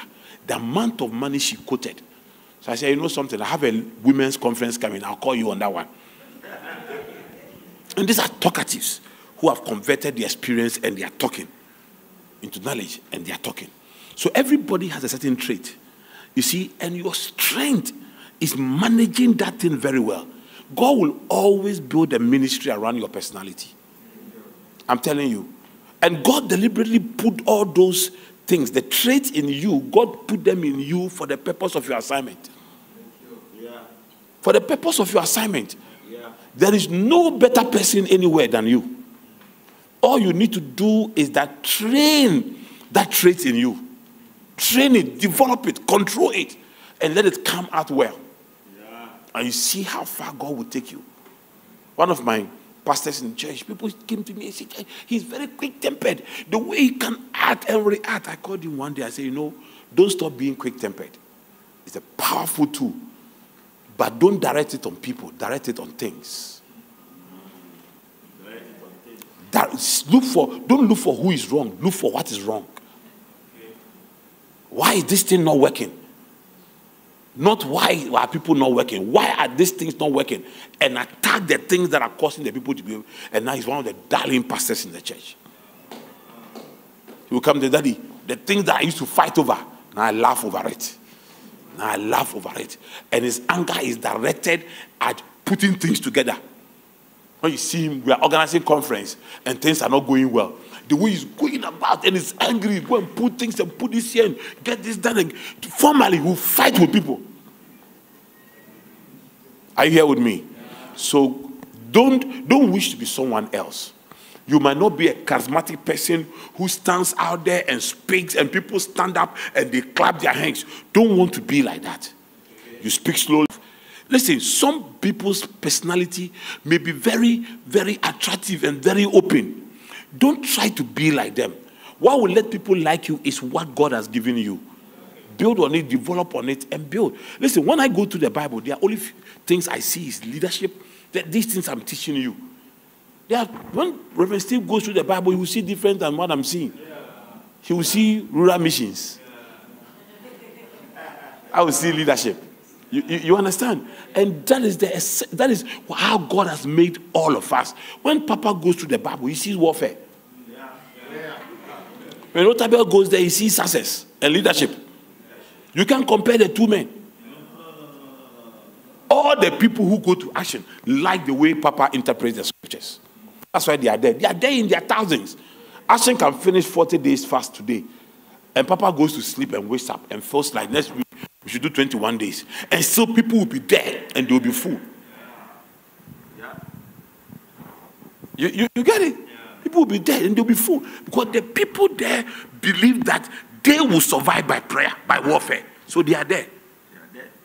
There are others. I'm sure that if Dr. Otabil organizes prayer conference, it will not be as big as Papa running the prayer conference. In the same way, if Papa organizes a motivational leadership, they say it will not be as big as the Totabel organizing. Yeah. Because the people in the Totabel church are there because of his unique calling and ministry. Yeah. Yeah. You see, where competition begins is when you start comparing yourself to people. So God has brought you into this family with a certain uniqueness. Develop it, build it, and eventually it will show. Amen. Eventually it will show. So let me deal with one more and then I will be off from here. The next skill I believe every pastor must have is relational skills. Relational skills. Your ability to build relationships.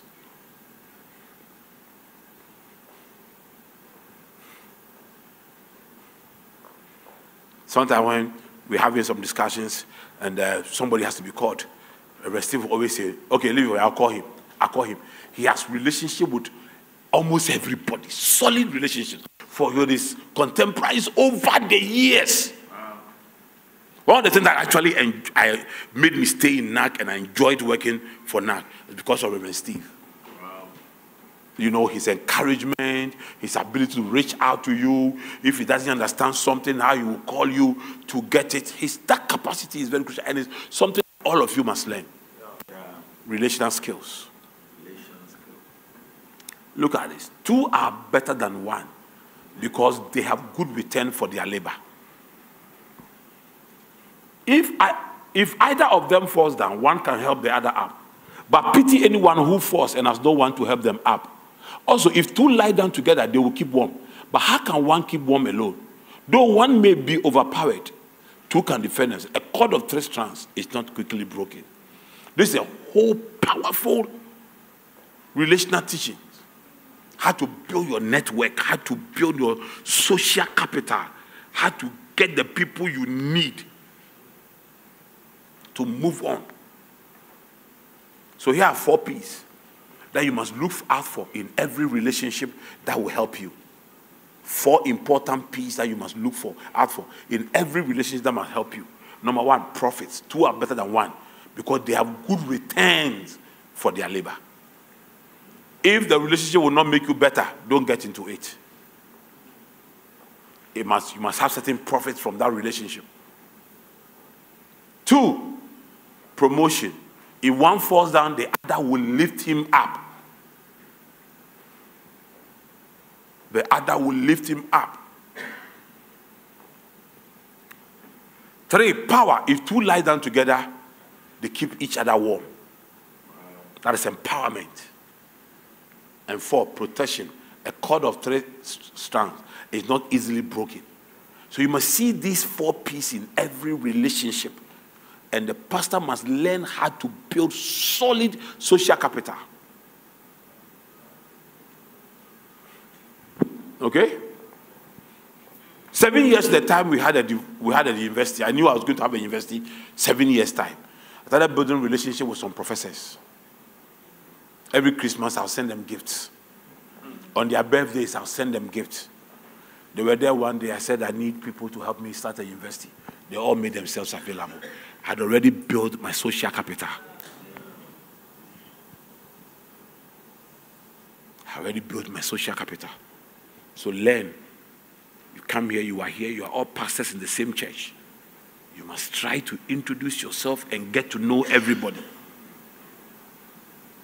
Okay? get to know everybody, get to connect yourself. There is one pastor who has bought new equipment and the old one doesn't know what to use it for and he's kept it somewhere and people are saying, What do you do with it? They say, Keep it, keep it. And you are looking for money to buy new equipment. You can get it here. Don't walk alone. Build close relationships. Okay? The community where you are and pastoring the church, get to know other pastors there. Meet together, pray together, get yourself together. Okay? It's very important. Okay, so please go to the next slide. Good. Now, oratorical skills. Language is the means of getting an idea from my brain into yours without surgery. One Mark Amidon said this. So I'm talk- as I'm talking to you now, I'm getting ideas from my brain into yours without surgery. You understand? And I'm choosing my language, I'm choosing how to communicate this efficiently and effectively. I'm looking at this as not preaching, it's a pastor's seminar. I must have a posture that is seminary. You understand? Yeah. And, and to present it. I must choose my language well for you to get it. Now, every pastor must have the capacity to be, to be an oratorical leader. You should be able to speak what God has laid in your hands. Okay? Now, it doesn't mean that you are speaking by shouting, but your ability to communicate it and communicate it efficiently and very well. Now, it's not everybody who is a natural speaker, but you can learn to speak. When I married my wife, she, she, her own was prayer. She wouldn't talk, very quiet. And her own was prayer. Every time she was praying. But today she talks more than me. When she's going to preach, I say, You have 45 minutes. Oh, 45 minutes, answer me. I said, some time ago, even to give an exhortation for 10 minutes, you'll be complaining. But see, she's built her oratorical skills. And now she can stand and develop and speak. So I want to show you a few things. So language is the means of getting idea from ability. Now look at this. Acts 722, Moses was educated in all the wisdom of the Egyptians and was powerful in speech and action. Why, why, why is Moses powerful in speech and action here? Powerful in speech. Was not the same guy who said was a stammerer? So how did he get here? He learned how to communicate. He learned how to speak. The Egyptians educated him. Are, are you here? He became powerful in speech. So you can learn how to speak. If you go to my website and my, my Facebook wall and look for uh, Talkpreneurship, you'll find some of my teachings on public speaking. The 21 laws of effective public speaking, you'll find it there. How to build a public speaking career, you'll find it there. If, if you are talkative, you have a good mind, use it. Learn, develop yourself, and use it you'll be fine. Are you here? Fantastic. So, so now, this is what leaders do. Let's use language to do. Number one, to inform. Number one, to inform. Now, do you know that some certain people in our churches, the last 20 years, they haven't gone to any school, they haven't gone to any this thing, any seminar the only place they get information to make decisions is from the pulpit. That's why you must learn well and communicate effectively what you have learned. Okay? Anytime you are going to a pulpit and you have a sermon, note that people will make decisions based on this sermon I'm going to preach. Will it work? Does it work?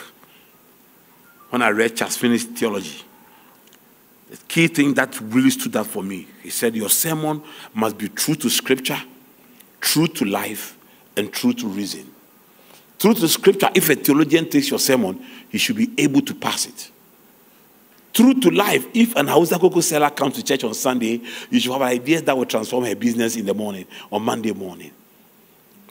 True to reason, if a philosopher takes your message to analyze it, it must make sense. So even though you speak to inform, you must make sure you are well informed. Okay? Number two, for instructions, you must have that capacity to instruct people, and people must understand what you are communicating. One of the things that will cost you a lot is to tell people to do things and then they do the opposite because you are not instructing efficiently. And then, number three, to share ideas. Anytime you have an idea, you must share those ideas. The former CEO of Coca Cola Company once said that it is useless to have an idea in your brain if you cannot communicate it. Because the idea that you cannot communicate will never outgrow the brain cell is occupying. Okay? So sometimes when you are here like this, uh, your man of God has brought you here, your pastor has brought you here to share ideas with you. That's why there's a team to it. And it brings men that can communicate those ideas to you. Okay? And then influence you use to inspire. So sometimes you speak because you want to inspire people. People hear you and you inspire them, you edge them on, you push them hard to go on. And then finally, to influence people. Five eyes why you should improve on your rhetorical skills. Amen. And then number five is thinking skills. Thinking skills. Thinking skills. Thinking is using your mind to solve problems. Worrying is using your mind to magnify problems. So you're either thinking or you are worrying. You know what consultants do? They think for those who worry and charges them for worrying. So worrying is expensive, isn't it? So when you come to a Accra Business School, what do you know what I do? I think for people, and they pay me for thinking for them. Come, coming weekend, we are launching the Restam MBAs from Restam Glendale University. I just brought a new MBA into the country. And last, last weekend, the people came for orientation, and my staff came to me and said, hey, I started big people. Oh. There's a pilot in it. There is a, a, a, member of parliament in it. There's an ambassador who came. There is this who came. I said, but what, what were you thinking? I was thinking for them. I developed, I came to that pro- program, as expensive. It's charging dollars. I just felt that there are some people in the system who don't like Ghanaian qualification. They want, they, want, they want to get a foreign qualification in Ghana and go and graduate there. So I taught for them. So now they are buying my thinking. Okay? And I'm charging them well in dollars. Because I'm not only selling a product, I'm also selling dignity. I'm selling ego.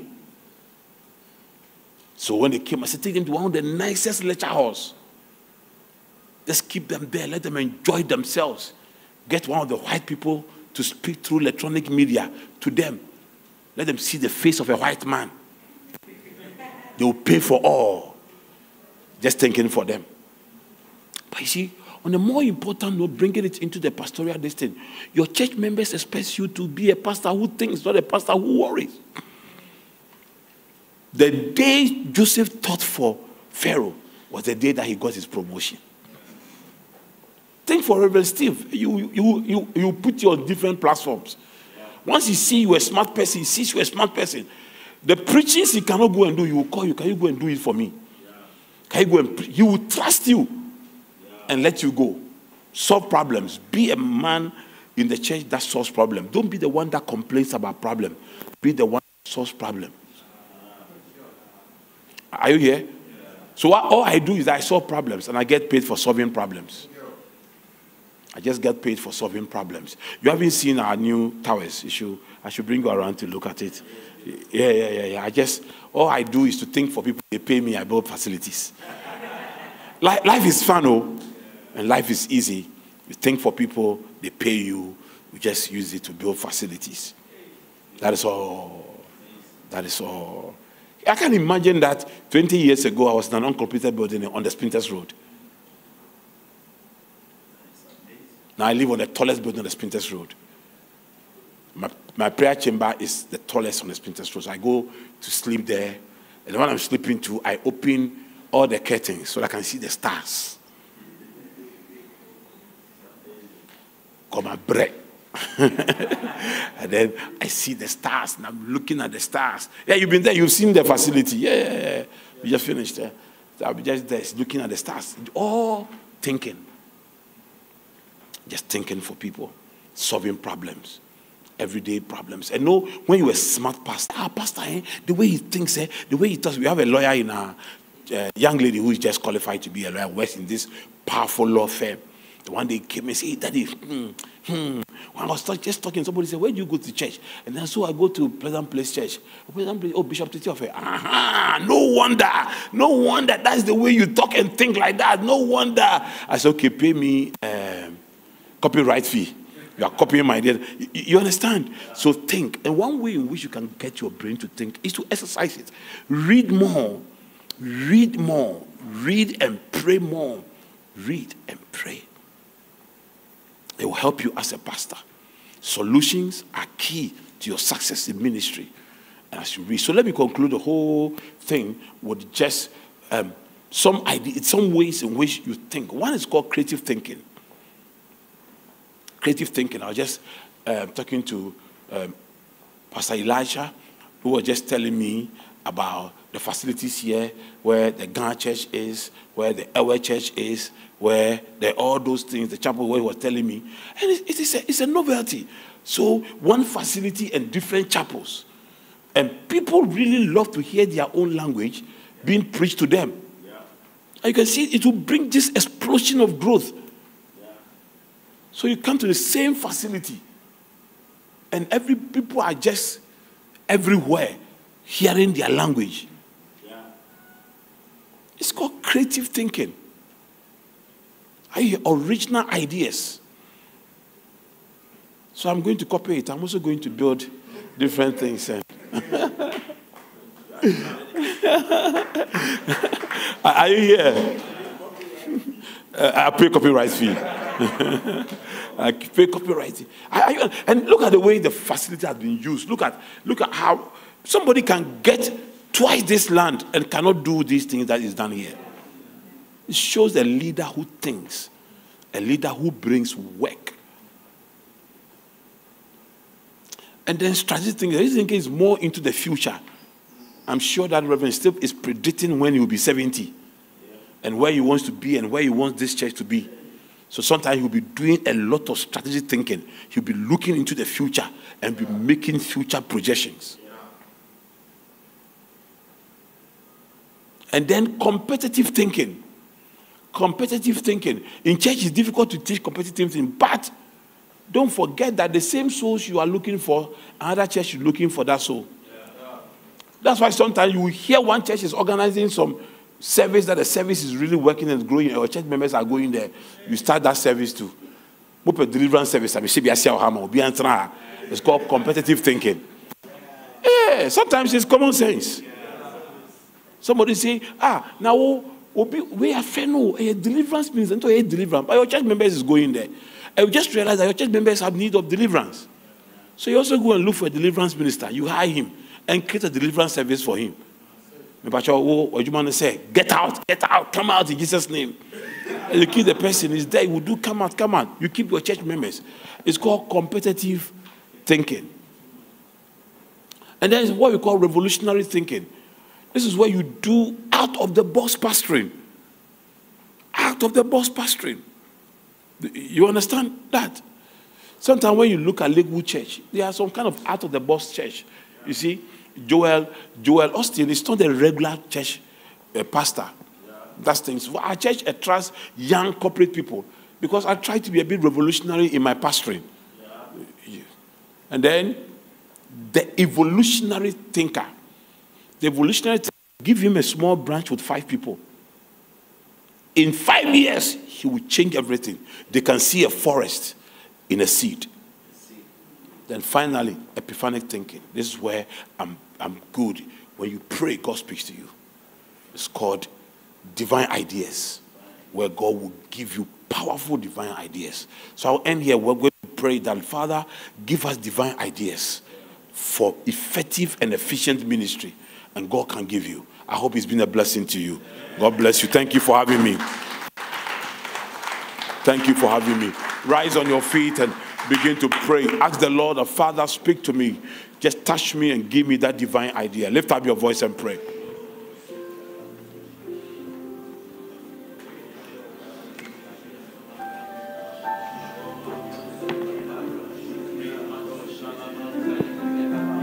Lift up your voice, pray.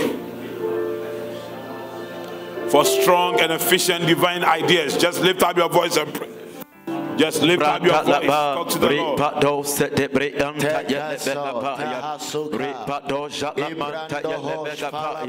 Father, speak to me, O Lord, in the name of the Lord Jesus. Mano zebranta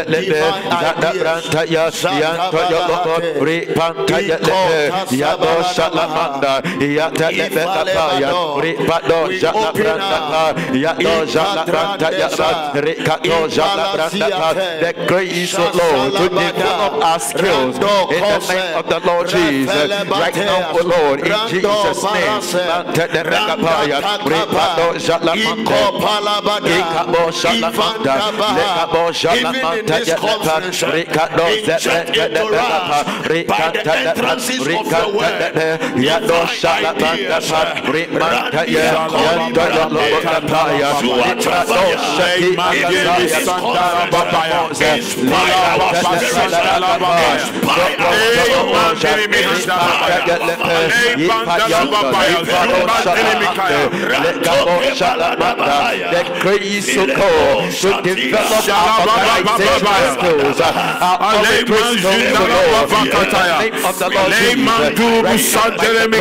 Let go.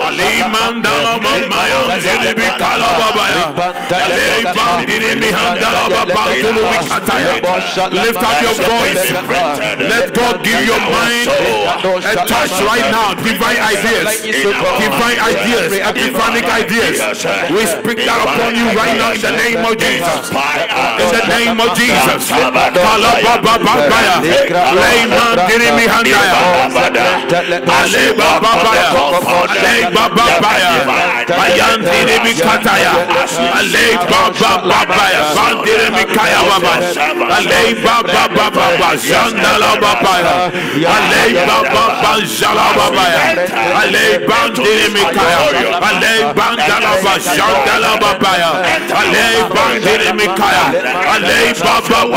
babaya balei bababa banzili bihandaya balei bababa sandalabaya. Balei bababa mandili bihandaya babaya. Yala babaya balei bazala babaya balei bababaya. Mandili mikaya babaya. Balei bandili bihandaya balei bababa babaya balei bababa babaya balei bandala babaya balei bababa jaya Ali mandala babaya. Aleba ya laya. Kazum mandala babaya. Aleba ya babaya. Aleba zaya maya. Ali bala babaya. Aleba zaya kaya. Ali bala babaya. Ale babaya. Ale mandala. Kala babaya. Aye babaya. Ale babaya. Ale babaya. Ale bayandaya. Kala bashayama. Libala babaya. Open to the word of God. Lift up your hands. Father, we pray for integrity of heart. Yes, Lord.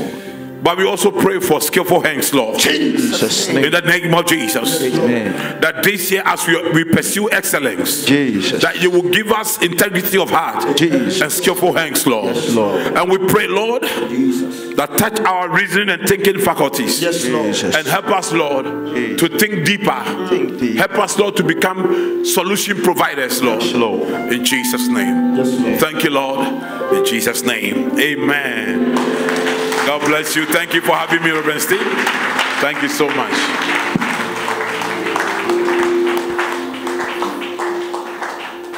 Wow, wow, wow, wow, wow, wow, wow, wow, wow, wow, wow. Are you clapping or you're not clapping?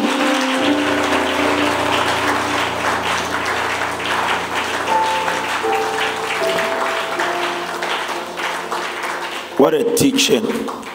What a revelation. What deep depths of knowledge. That's one thing I love about uh, uh, uh. He comes, every time he comes with fresh oil, fresh revelations. he wraps his mind around the scriptures and uses it in the corporate world and also for ministers. Have you been blessed today? Too powerful. I'm going to allow five questions on some of the things he has taught so that he can respond to them because I think some of you have one or two questions. So you can walk to one of the microphones here and then just we want to spend about five minutes or ten minutes. Just ask a question on your mind of the some of the things. If I want to go over some of the things he has said, I will end up also preaching another sermon because I have a lot to say on every point that he raised today. Very, very powerful, very informative, and some of the things that I am doing, I didn't know that I was fulfilling a certain. Uh, I was fulfilling a certain vacuum that he has created in his teaching. It's like I'm doing something he's teaching on. Say amen. Or he's using something I'm doing to also teach. And I'm very, very, very, very happy to see that. Oh, okay, so we are on track. Then I, I try to listen to the things and see which of the gaps are left in my ministry. So I put myself there. Say amen. So I pray that the networking, the oratorial skills, the team, and all the points he has raised, please go over this uh, this uh, teaching again on your own for another two hours when you are relaxed. And hear it again. It's on YouTube. It's on CMTV Live. You can always go back and listen to it and be blessed some more. So five quick uh, questions. Make your questions very short. Don't ask another question. Yes, please come. Don't ask senior minister. Give it up for senior minister. Thank you so much for a very refreshing teaching. But uh, I want you to throw some more light on the aspect where you said because we have unique talents, there must not be competition. And at the same time, we must have competitive thinking. So if you can throw some more light on that. Thank you, sir. So internal competition is more destructive than external competition. So there are situations where competition is used advisedly because it is to motivate you to move on. So I gave a very good example. So I gave different examples. So within internal competition, just celebrate your uniqueness so that yeah. you don't compare yourself to somebody and compete with a person. But within external competition, look at what other people who are doing what you are doing are doing and the edge they are having over you and make sure that you can close that gap and move on. Other than that, most churches will not be building the kind of buildings that we're having now. When all churches were in classroom, everybody was comfortable. Yeah. But when people started moving from classroom, people started moving from classrooms too. So they have a form of competition. When people started putting air conditioners, you also have to put in an air conditioner to keep some people. When people moved, moved on TV, you also felt that you have to be visible. So you moved on, on to TV as, as well. Recently, we relocated our main chapel to the roadside because we wanted visibility. Because there are more churches coming on the Spintex Road and they are buying facility by the roadside and they are becoming very visible. So you also feel, let me also be visible. So they are strategic competition. Blessings. Blessings. Okay. Second one. Second one. Or is all cray? Anybody has, or you want a contribution, want to say something? All right. What do we say to the man of God? God bless you. And uh, you are booked for next year. You see, it's on your your invite, invite is on autopilot. To Jesus comes. Say amen. I love listening to him, and I love the way he teaches. And every time I meet him, he's doing something new. Every time. And that's one of the things I love about ministry. You must always be bringing out new things to, to grow your ministry, to grow your life, and also to lead yourself. And so, and, and, and anytime I hear his testimony, I'm blessed because 20 years ago, on Spintex Road, they didn't have and everything. And when you go to his facility now, you see all kinds of programs and projects and how he's thinking for people developing MBAs and training and bringing others. I have a friend, Victor Say, Bishop Bishop. His two daughters are in a school, you know, and I, and I feel that uh, he has been able to charter a certain path and he's carrying the body of Christ along. And he's, he's teaching what he's doing. He's not, he hasn't cocooned himself and selfishly enjoy what it, but he's teaching it. He's exposing what he's doing. He's laid the, the pathway of his success, how he got, how he developed a seven-year plan to get himself out of poverty. All these things is to inspire you also to see how you can use some of his life experiences, his teaching, his educational abilities, and also if you want to go to his school, feel free and go to the school and be part of the project, pro, programs and the things he's doing. And I believe that you also go places. Say amen. And associate your, you see, some of you, you're on Facebook listening to a lot of nonsense, but leave those things and go on his website, Google his name, listen to more teachings that he didn't bring here. Instead of being on Facebook and listening to people who are not speaking anything uh, uh, useful. Say amen. Yeah. I've been in ministry for a very long time, but I, I, find his brand and his style of teaching very, very, very nice. And I bring him along. Anytime I'm traveling anywhere, I said, Titi, we are going, you know, come and teach the people, come and teach the pastors. I've promised the pastors in Keta that I'm bringing one guy, Titi Ofei, to come and teach the pastors. They, are, they can't wait. They can't wait to listen. They oh, they know. They've been listening to you now. I'm bringing, as I'm bringing Pastor Matthew I'm bringing Eastwood there. They are excited. The Volta region in July will never be the same again. We are invading the place with the word of God and with all social, uh, medical interventions for the region. 6,000 of them have been displaced by the sea. The government has done its best. The body of Christ is moving in there to also do our best for our people. Are you coming or you're not coming? All right. So thank you, Bishop Titi Ofei. We are very honored. You are booked for next year. And thank you for coming year after year. And also thank you for your faithfulness and in, your humility in responding to our invite. And I think that it is with worthy of learning. So I'll see you. I invite Pastor Mike to come and give us the next uh, segment.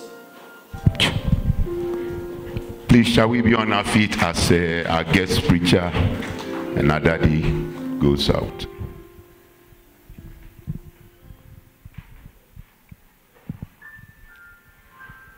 Hallelujah. Have you been blessed this morning?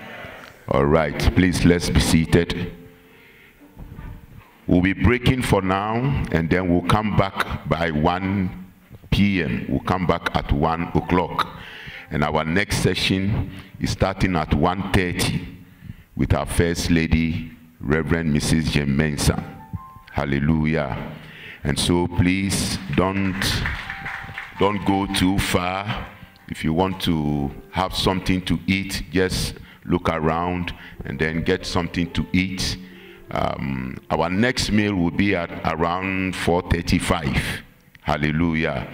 And so just go around, get something to eat, and by 1 o'clock, we are all here for the afternoon session with our First Lady, Reverend Mrs. Jemensa. Hallelujah. And then tomorrow, we are going to do... Um, an ID card. We're going to do ID card for all uh, pastors of CEM. So tomorrow when you are coming, please dress very well because you'll be taking, you know, they'll take your passport picture and then we'll do all those things for you. So tomorrow, the men put on your best, your suit, tie, and then the women also um, just come dressed very well. Hallelujah We'll do everything at the Crystal Hall. So by the time you are going, you have your ID card. Everybody, right from the general overseer to whoever. Amen. Or I say amen. And so um, when we close from this session and you haven't registered, please go outside and then write your name and then you'll be given your tag. Hallelujah. All right. This year we'll be doing a lot of visitations. We'll be visiting you. Are putting together the apostolic team. Some will call you, will tell you we'll be coming. Some will not tell you. By the time you realize we are there.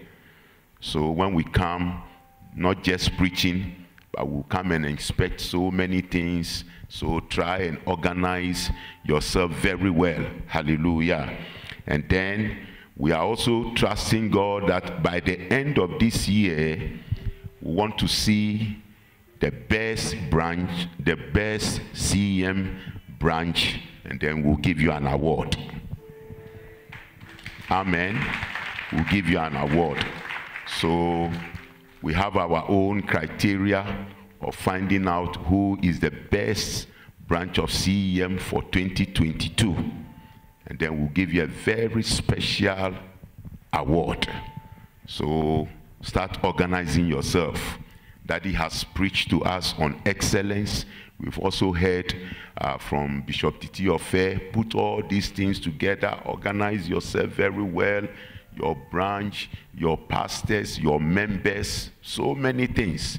When we come, we are going to look at so many things. We have our own criteria and whatever. And then after that, we'll sit down. We went to Dansoman, we went to Goi, we went to Kwashieman, we went to Golokwati, we went to Alavanyo, we went here and here and then, then, then, there.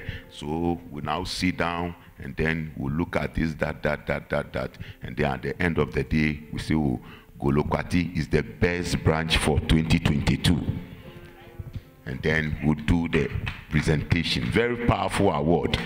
Hallelujah. The, the best, the first best, the second, and then the third. And then next year too, the same. The following year, the same. All is to encourage us to put up our best. Somebody say amen. Hallelujah. And so let's start uh, working on ourselves, our branches, and then uh, uh, we'll trust God that things will go well for us.